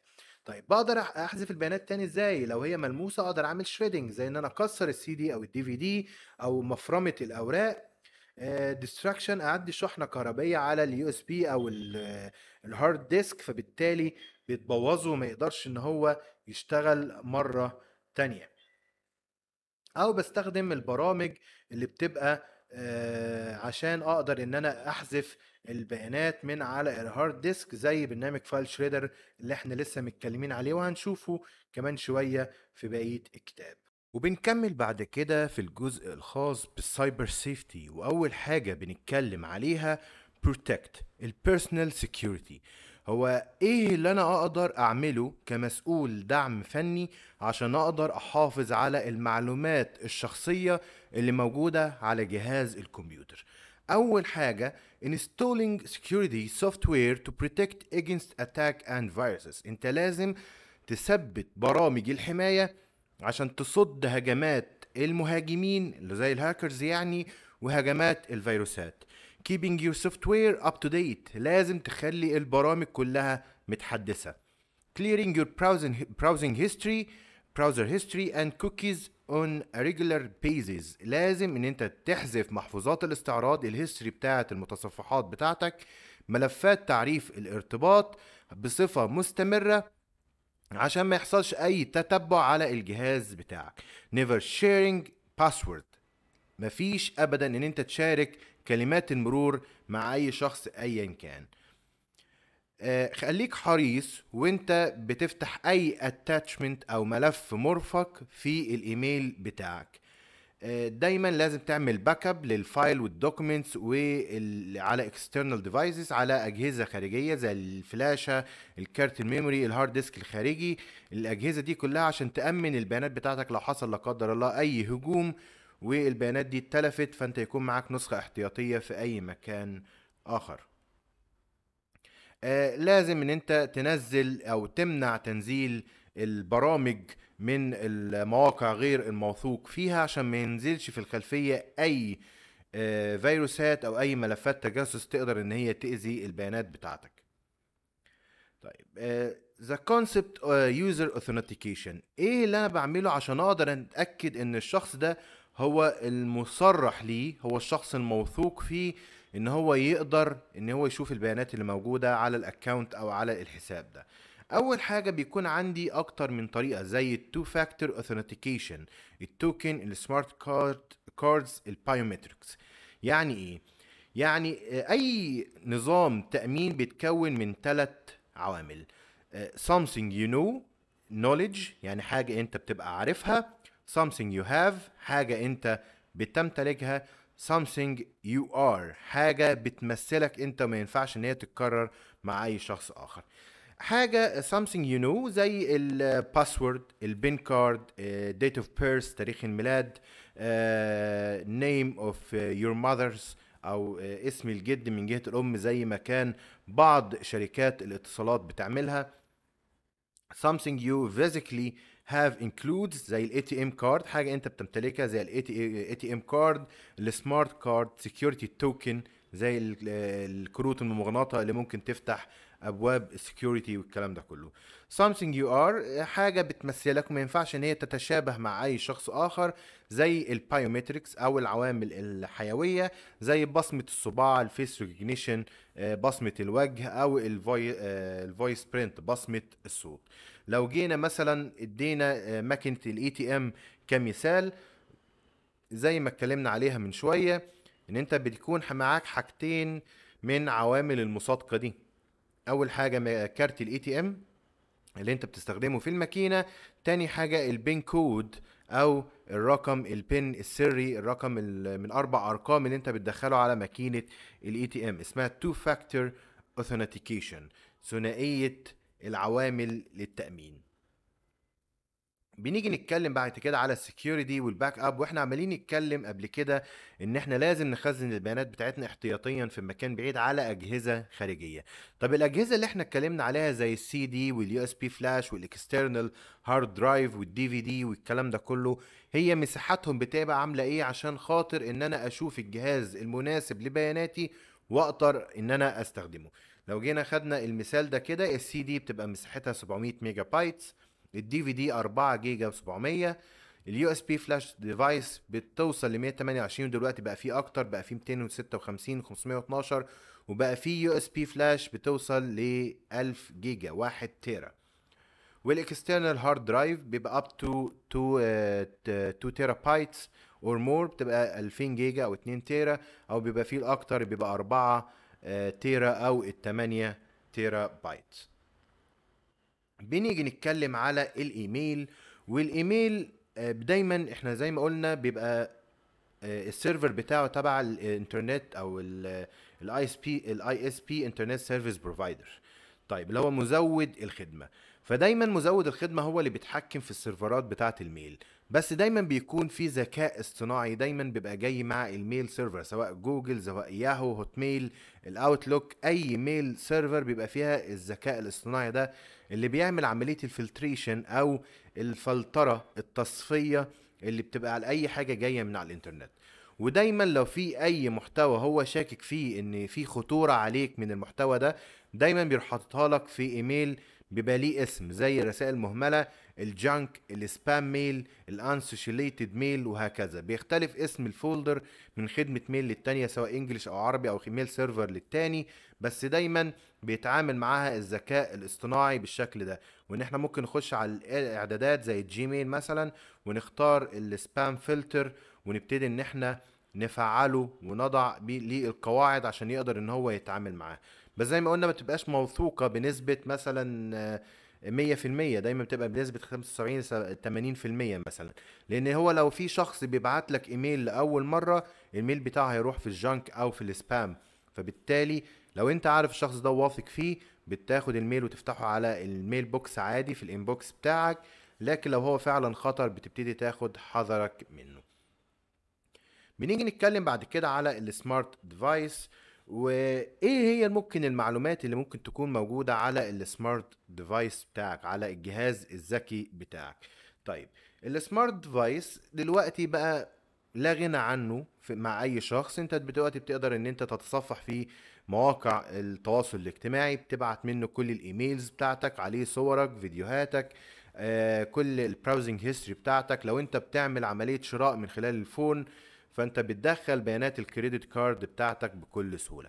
طبعا كل ده بقى موجود في الهاتف الذكي اللي ما بين ايديك. فضياع الهاتف ده أو اختراقه ده هيسبب مشكلة كبيرة جدا لأن بياناتك كلها بقت متاحة للأشخاص اللي قدروا إن هم يوصلوا للجهاز بتاعك بسرعة بصورة سهلة.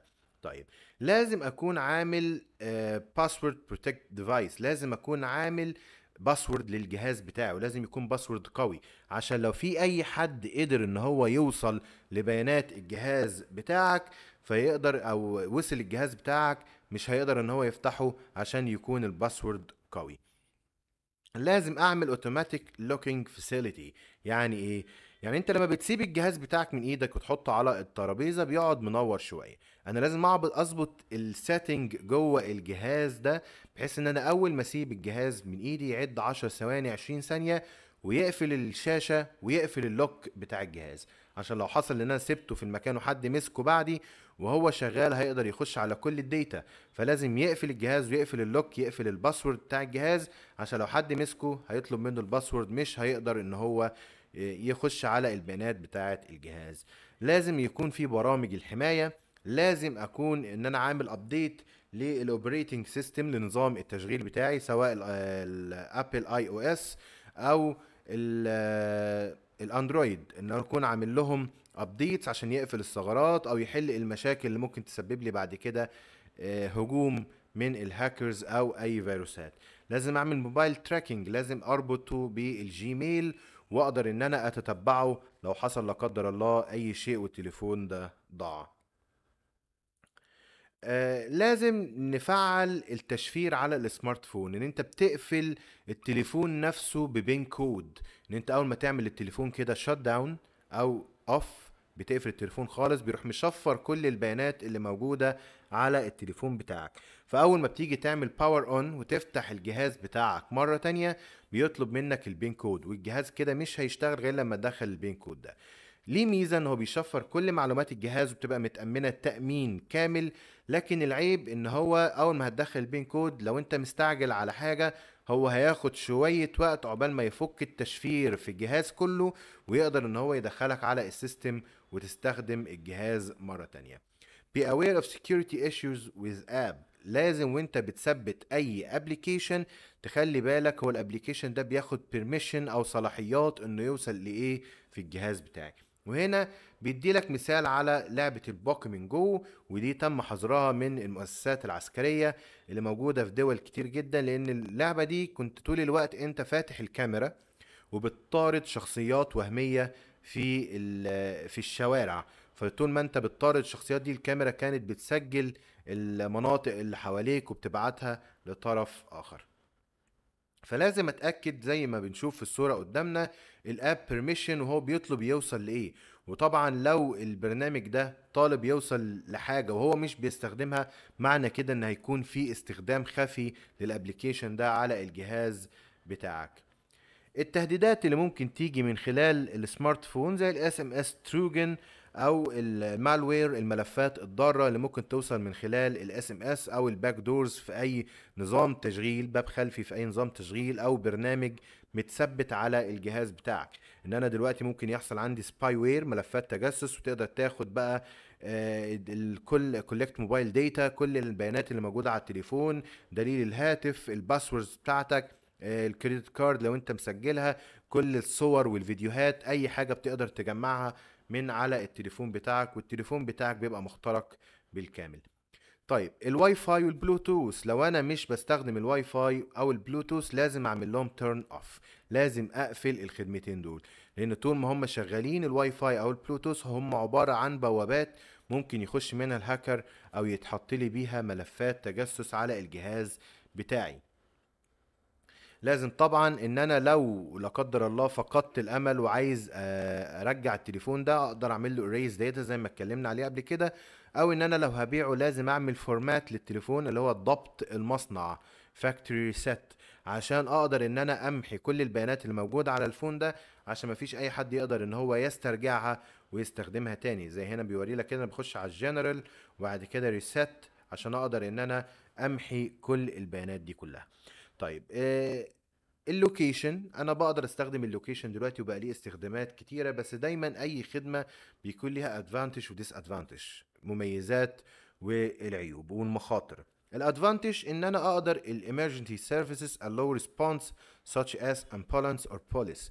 يعني بقدر إن أنا أخلي لو أنا في حالة طارئة لا قدر الله إن الإسعاف أو البوليس يقدروا يوصلوا لي بسرعة. theft recovery لو التليفون اتسرق برضو لا قدر الله تقدر إن أنت تتتبع التليفون وتقدر تسترجعه مرة تانية. تقدر تربطه ببرامج أخرى عشان يقدر يجيب لك الطرق آه، المتاحة والطرق الزحمة واللي فيها إصلاحات تربطه ب application تانية يجيب لك عربية لحد باب البيت. تقدر تعمل check in في مكان فزميلك يعرف إن أنت في المكان ده فيقدر إن هو يتواصل معاك وتتقابلوا ال disadvantage بتاعته إن أنا ال privacy uh, potentially given up because spying can occur by anyone. يعني ال- الخصوصية بتقل لأن أي حد يقدر إن هو ببرامج الطرف الثالث يقدر إن هو يتتبعك ويتجسس عليك. آه، بطريقة عن طريق البرامج الطرف الثالث اللي بتقدر تثبت على الجهاز بتاعك ويقدر إن هو يتتبع ال location بتاعك ويتتبع خط السير بتاعك بكل سهولة. طيب ال battery draining much quicker when your uh, smart device GPS is running. يعني طول ما انت مشغل GPS هتلاقي بطارية التليفون والموارد بتاعته بتستهلك بسرعة فده هيعمل لك مشكلة كبيرة جدا. only share your mobile number with people you know and trust. لازم تشارك الموبايل رقم الموبايل بتاعك مع الأشخاص اللي انت تعرفهم فقط لأن وصل لتليفونك يقدر يبعت لك رسائل يقدر يبعت لك links تحتوي على ملفات التجسس أو برامج الفيروسات. كمان لازم تخلي ال ال IMEI number بتاعك يكون آه، معاك عشان لو التليفون حصل له آه، ضياع أو السرقة أو في حالة السرقة. لأن هو بتقدر من خلال ال IMEI number إن أنت بتروح للجهات المختصة بيتتبعوا التليفون بيه ويقدروا إن هم يعملوا block على الشبكة فبيبقى التليفون غير قادر على الاتصال على أي شبكة اطلاقا وبيحددوا مكانه وبيقدروا إن هم يوصلوا له بصورة كبيرة جدا. uh, uh, how to switch on the internet filter to block uh, inappropriate internet content. هنا بيعرض لك إن في برنامج بتقدر إن أنت تستخدمه. طبعا تبع شركة Apple's بتقدر إن أنت تثبته على ال Windows عادي جدا عشان تمنع المحتوى الغير لائق وتعمل عملية ال internet filter أو برامج تصفية المحتوى. والبرنامج اسمه ال K9 Web Browser. ده متصفح من Apple بيتيح لك كل الإمكانيات عشان تقدر تعمل عملية filtration أو عملية تصفية للمحتوى الخاص بالإنترنت وتقدر تمنع المحتوى الغير لائق. ال wireless. طيب لو أنا استخدمت واي فاي في الأماكن العامة هل ده مفيد ولا لأ؟ هيبقى زي ما قلنا أي حاجة بيبقى ليها مميزات وعيوب. ال advantage بتاعتها إن أنت بتقدر وأنت باللابتوب بتاعك في restaurant في مطعم في كافيه في أي مكان في فندق في اللوبي في المطار بتقدر تعمل check للإيميلات بتاعتك والإنترنت زي ما أنت حابب. ولو أنت في المطار بتعمل check على الإيميل وعلى البيانات بتاعتك قبل ما تطلع الطيارة لأن أنت طول مدة الرحلة بتبقى قافل التليفون بتاعك في الكافيه آه، في الفندق مش محتاج إن أنت تنزل تدور على مكان ده وأنت قاعد في الأوضة أو مش محتاج تنزل للوبي كمان.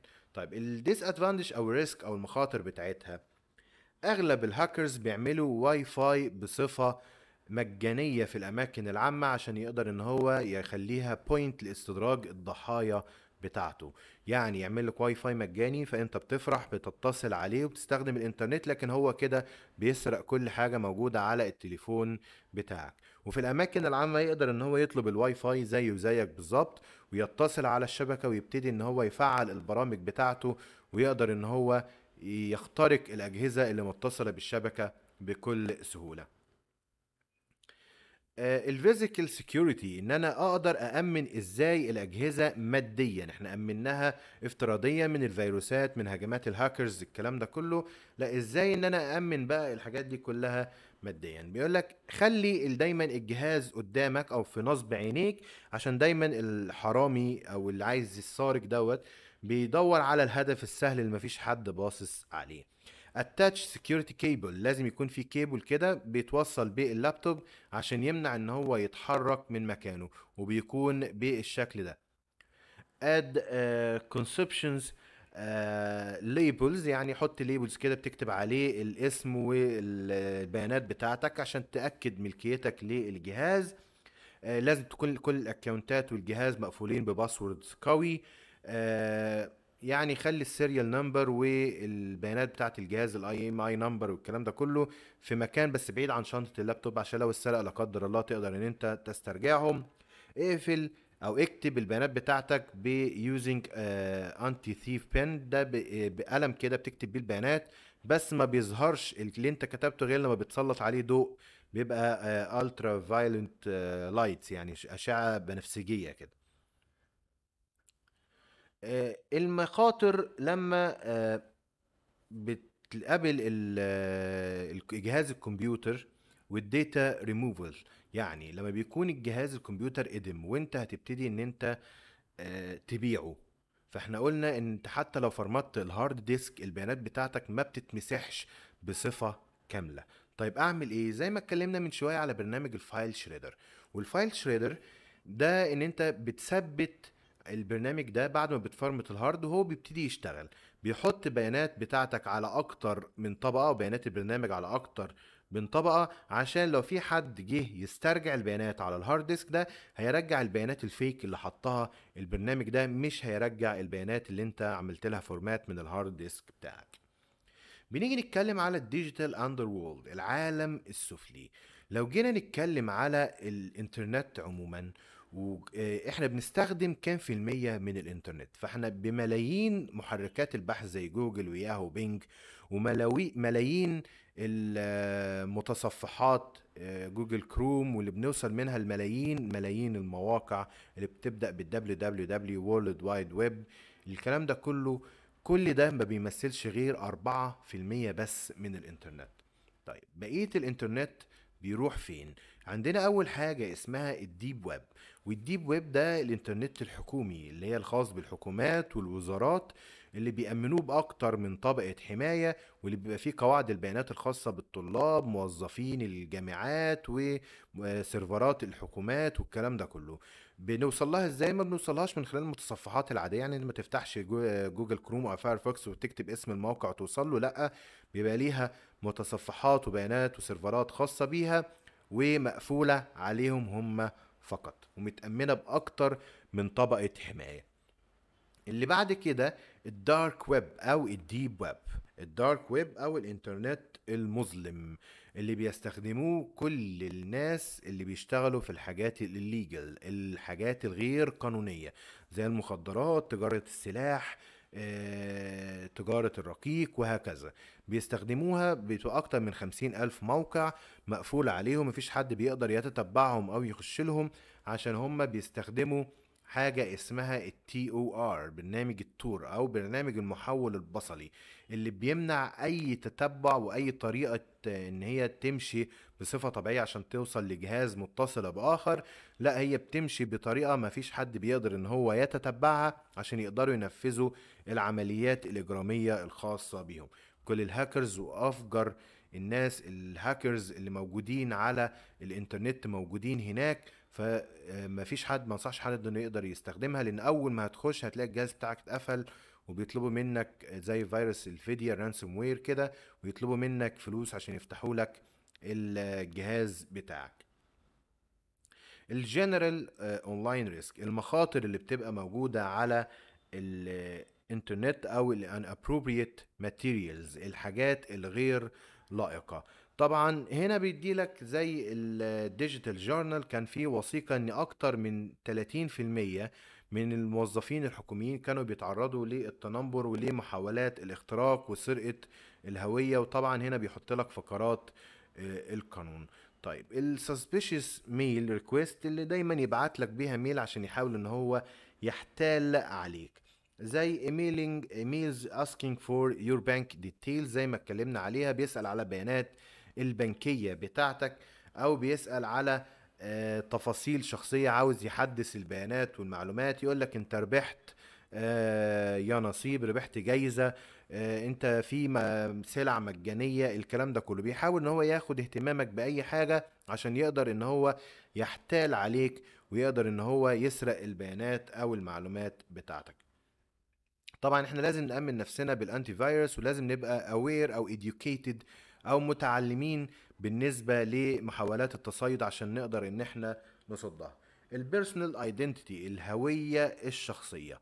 طبعا لو أنت دلوقتي نزلت البيانات الشخصية بتاعتك للعامة كده على الإنترنت على الفيسبوك مثلا وقلنا إن إحنا عندك 160 صديق. طبعا كل واحد بيبقى عنده أكتر من كده أصدقاء على الفيسبوك أو على ال social media عموما يعني. وكل واحد من دول عنده 160 كمان فالمعلومات بتاعتك once ان انت عملت لها post أول ما عملت لها post كده على الفيسبوك وصلت ل 25600 شخص. هل انت واثق في العدد ده كله؟ فعشان كده لازم تظبط إعدادات ال- الخصوصية بتاعتك وما تشاركش المعلومات الشخصية بتاعتك عشان ما تبقاش متاحة للجميع وأي حد يقدر إن هو يستخدمها ضدك.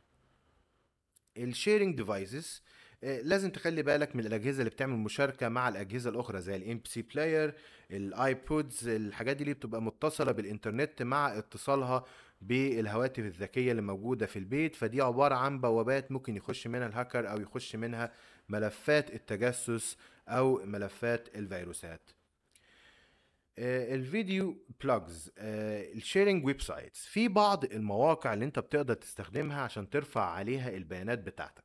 ويبتدي إن أنت تشاركها مع ملايين من الناس. فأي حد بقى محتاج المحتوى ده بيقدر يخش يعمل عليه search على ال website ده ويقدر إن هو يعمله download مثلا أغنية فيديو برنامج كتاب بحث علمي أي حاجة أنت بتبقى محتاجها بتدور عليها على المواقع دي. هي مفيدة عشان بتبقى سهل إنها تنقل الملفات ما بين الأشخاص وبعضهم. لكن بيبقى في منها خطورة عشان ممكن شخص غير سوي يقدر يرفع برنامج مع ملف تجسس أو فيروس فبالتالي أنت تنزله فينزل ملف التجسس أو الفيروس على الجهاز بتاعك بسهولة.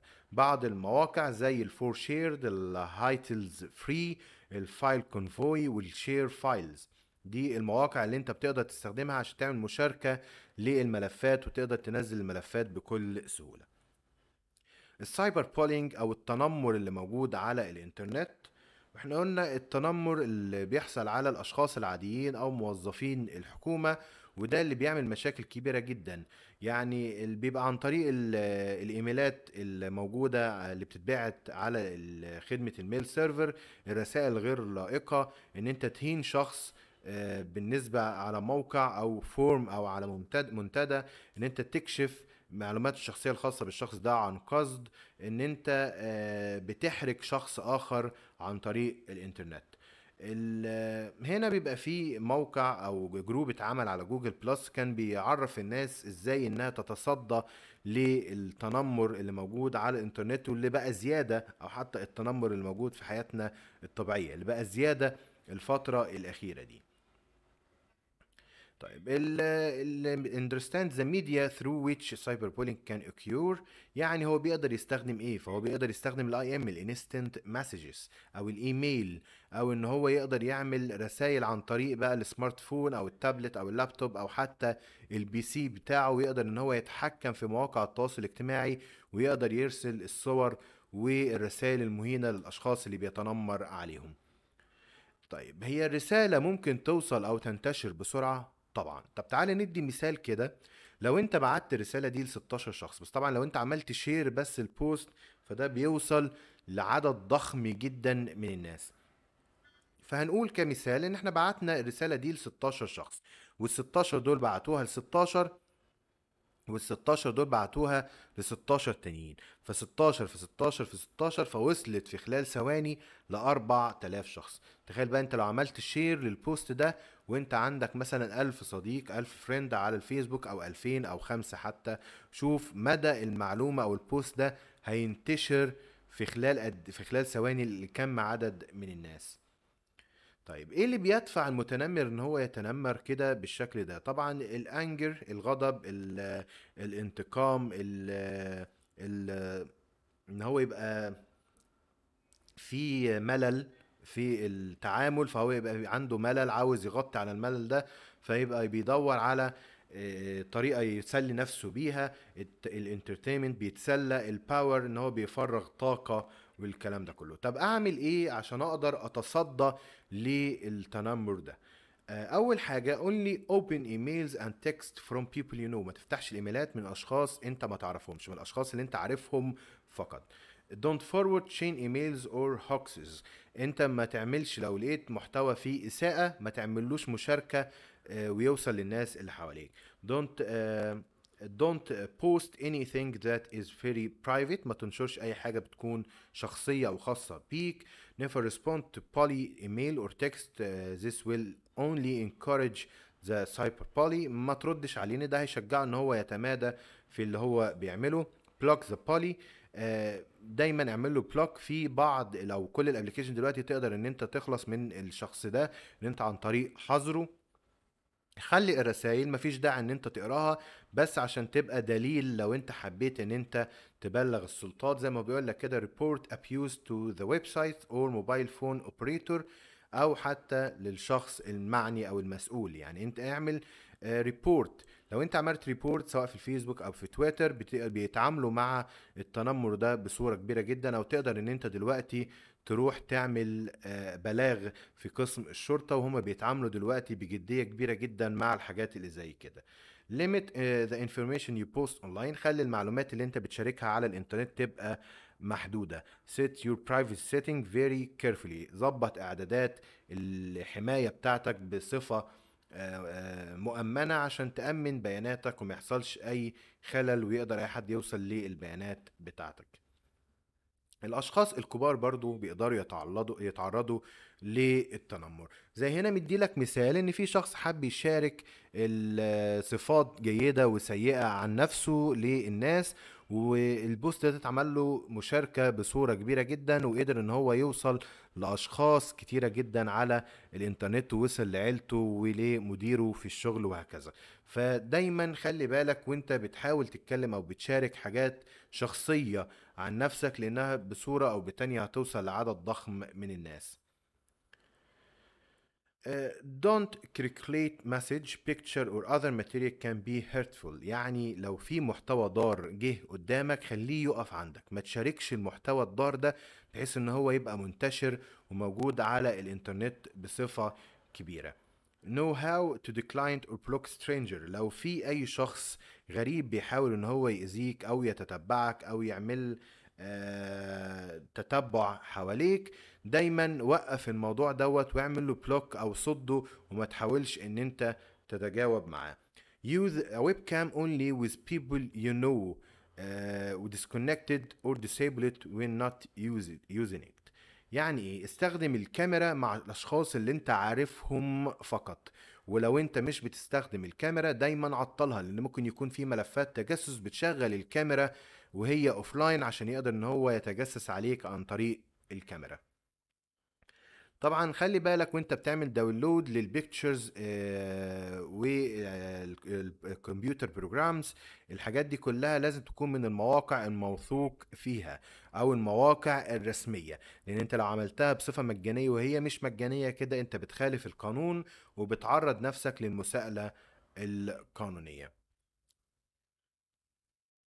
طيب آه، النت آه، نت كويت from the internet is informal rules or behavior when using the internet اللي هي المصادقة مصادقة المستخدم أثناء أو سياسات الاستخدام أثناء إن أنت بتيجي تستخدم خدمة ال mail أو خدمة ال social media.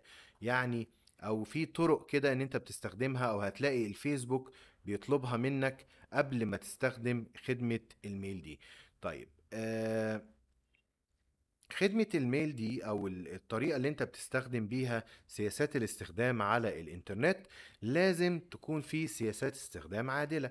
يعني بيقولك أنت لو خالفت القوانين دي هتبتدي إن أنت آه، هنقفل ال account بتاعك ال account بتاعك هيتعمل له suspend هيتوقف وهكذا.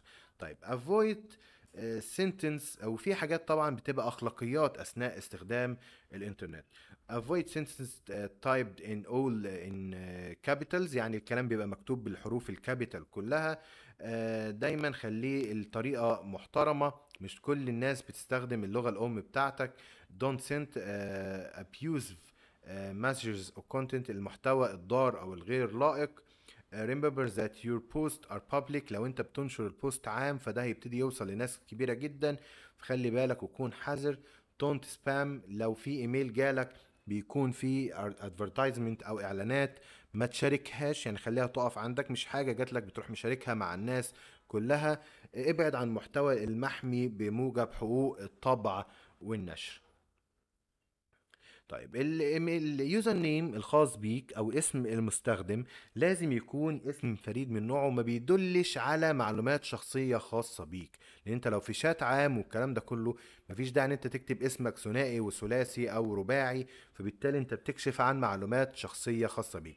دايما اختار اسم مستعار ما بيدلش على أي معلومات شخصية خاصة بيك. لازم أحمي البيانات الشخصية بتاعتي عشان دي هي دايما الهدف لكل واحد هاكر أو كل واحد بيحاول يحتال عليك عشان يسرق الهوية بتاعتك. آه، أي حاجة أنت بتعملها على الإنترنت دايما بيبقى ليها حاجة اسمها digital footprint بصمة رقمية ودي اللي بتبني شخصية كاملة عنك على أو شخصية افتراضية كاملة عنك على الإنترنت بيبقى فيها كل المعلومات أو كل الاهتمامات الخاصة بيك. لو أنت عايز تعرف البصمة الرقمية اللي موجودة على الإنترنت آه، عنك شكلها إزاي اعمل search باسمك بس على موقع اسمه Pipl وده هيطلع كل البصمة الرقمية أو إزاي الناس لما بتيجي تعمل عليك search على الإنترنت بتلاقيك بالشكل ده. بس الموقع ده مش for free ده آه، بفلوس. طيب بعد كده عندنا السناب شات وهي الحماية الخاصة بمواقع التواصل الاجتماعي أو برامج التواصل الاجتماعي. والسناب شات هو البرنامج الوحيد اللي لو أي حد وأنت بتكلمه خد screenshot لل chat بتاعكو هيبلغك إن الشخص ده خد screenshot وبالتالي يجب إن أنت تحذر منه. الخدمة دي مش موجودة في بقية مواقع التواصل الاجتماعي أو برامج مواقع برامج التواصل الاجتماعي لكن سناب شات هو الوحيد اللي عامل الخدمة دي. طيب آه، موظف الحكومي لازم يكون في سياسات استخدام كده أثناء استخدام الإنترنت أو مواقع التواصل الاجتماعي عشان ما يضرش المؤسسة اللي هو بيشتغل بي- فيها. يعني ما ينفعش ينشر أي صورة خاصة بالموظفين أونلاين من غير ما ياخد إذنهم. أي محتوى خاص بالشغل أو أي رأي خاص بالشغل أو المؤسسة اللي بيعمل فيها ما ينفعش إن هي يعمل لها post بدون ما يرجع ولو هيضطر إن هو يكتب post online لازم يكتب إن هذا ال post ليس له علاقة بالمؤسسة الحكومية التي أعمل فيها وإنما هو post خاص بي أنا وشخصي لي أنا. This post are my own and do not represent government agency position strategies or opinions. يعني زي كده post إخلاء مسؤولية. ال- بالنسبة بقى للإرهاب أو التطرف اللي موجود على الإنترنت وده بقى منتشر بصفة كبيرة جدا بالنسبة للمواقع وانتشار الإنترنت اللي موجود دلوقتي. فأي تطرف بيبقى بينزل إن هو الشخص اللي معاه أفكار متطرفة على الإنترنت من خلال بقى الهاشتاج أو ال groups اللي موجودة على الفيسبوك أو الواتساب أو الصفحات اللي موجودة على الفيسبوك والإنستجرام والكلام ده كله ويبتدى ويبتدي إن هو يستهدف الأطفال والمراهقين ويبتدي إن هو يغير أفكارهم الأساسية والأفكار الدينية بتاعتهم ويبتدي إن هو يوجههم عشان يأذوا نفسهم ويأذوا اللي حواليهم. طيب هنا آه، اونلاين آه، بنتكلم على ان appropriate كونتنت أو المحتوى الغير لائق وهنا ده بيقدر إن هو بيوصل من خلال الإنترنت. طيب ال online addiction لما بتبتدي انت بتستخدم الإنترنت بصفة كبيرة يعني طول اليوم وحتى وانت في الشغل وانت بتاكل أو انت في الدراسة بتبقى مش قادر تسيب التليفون من إيدك. ده بيعمل عملية حاجة اسمها إدمان للإنترنت مش قادر إن انت تتخلى عن التليفون إن هو يسيب إيدك.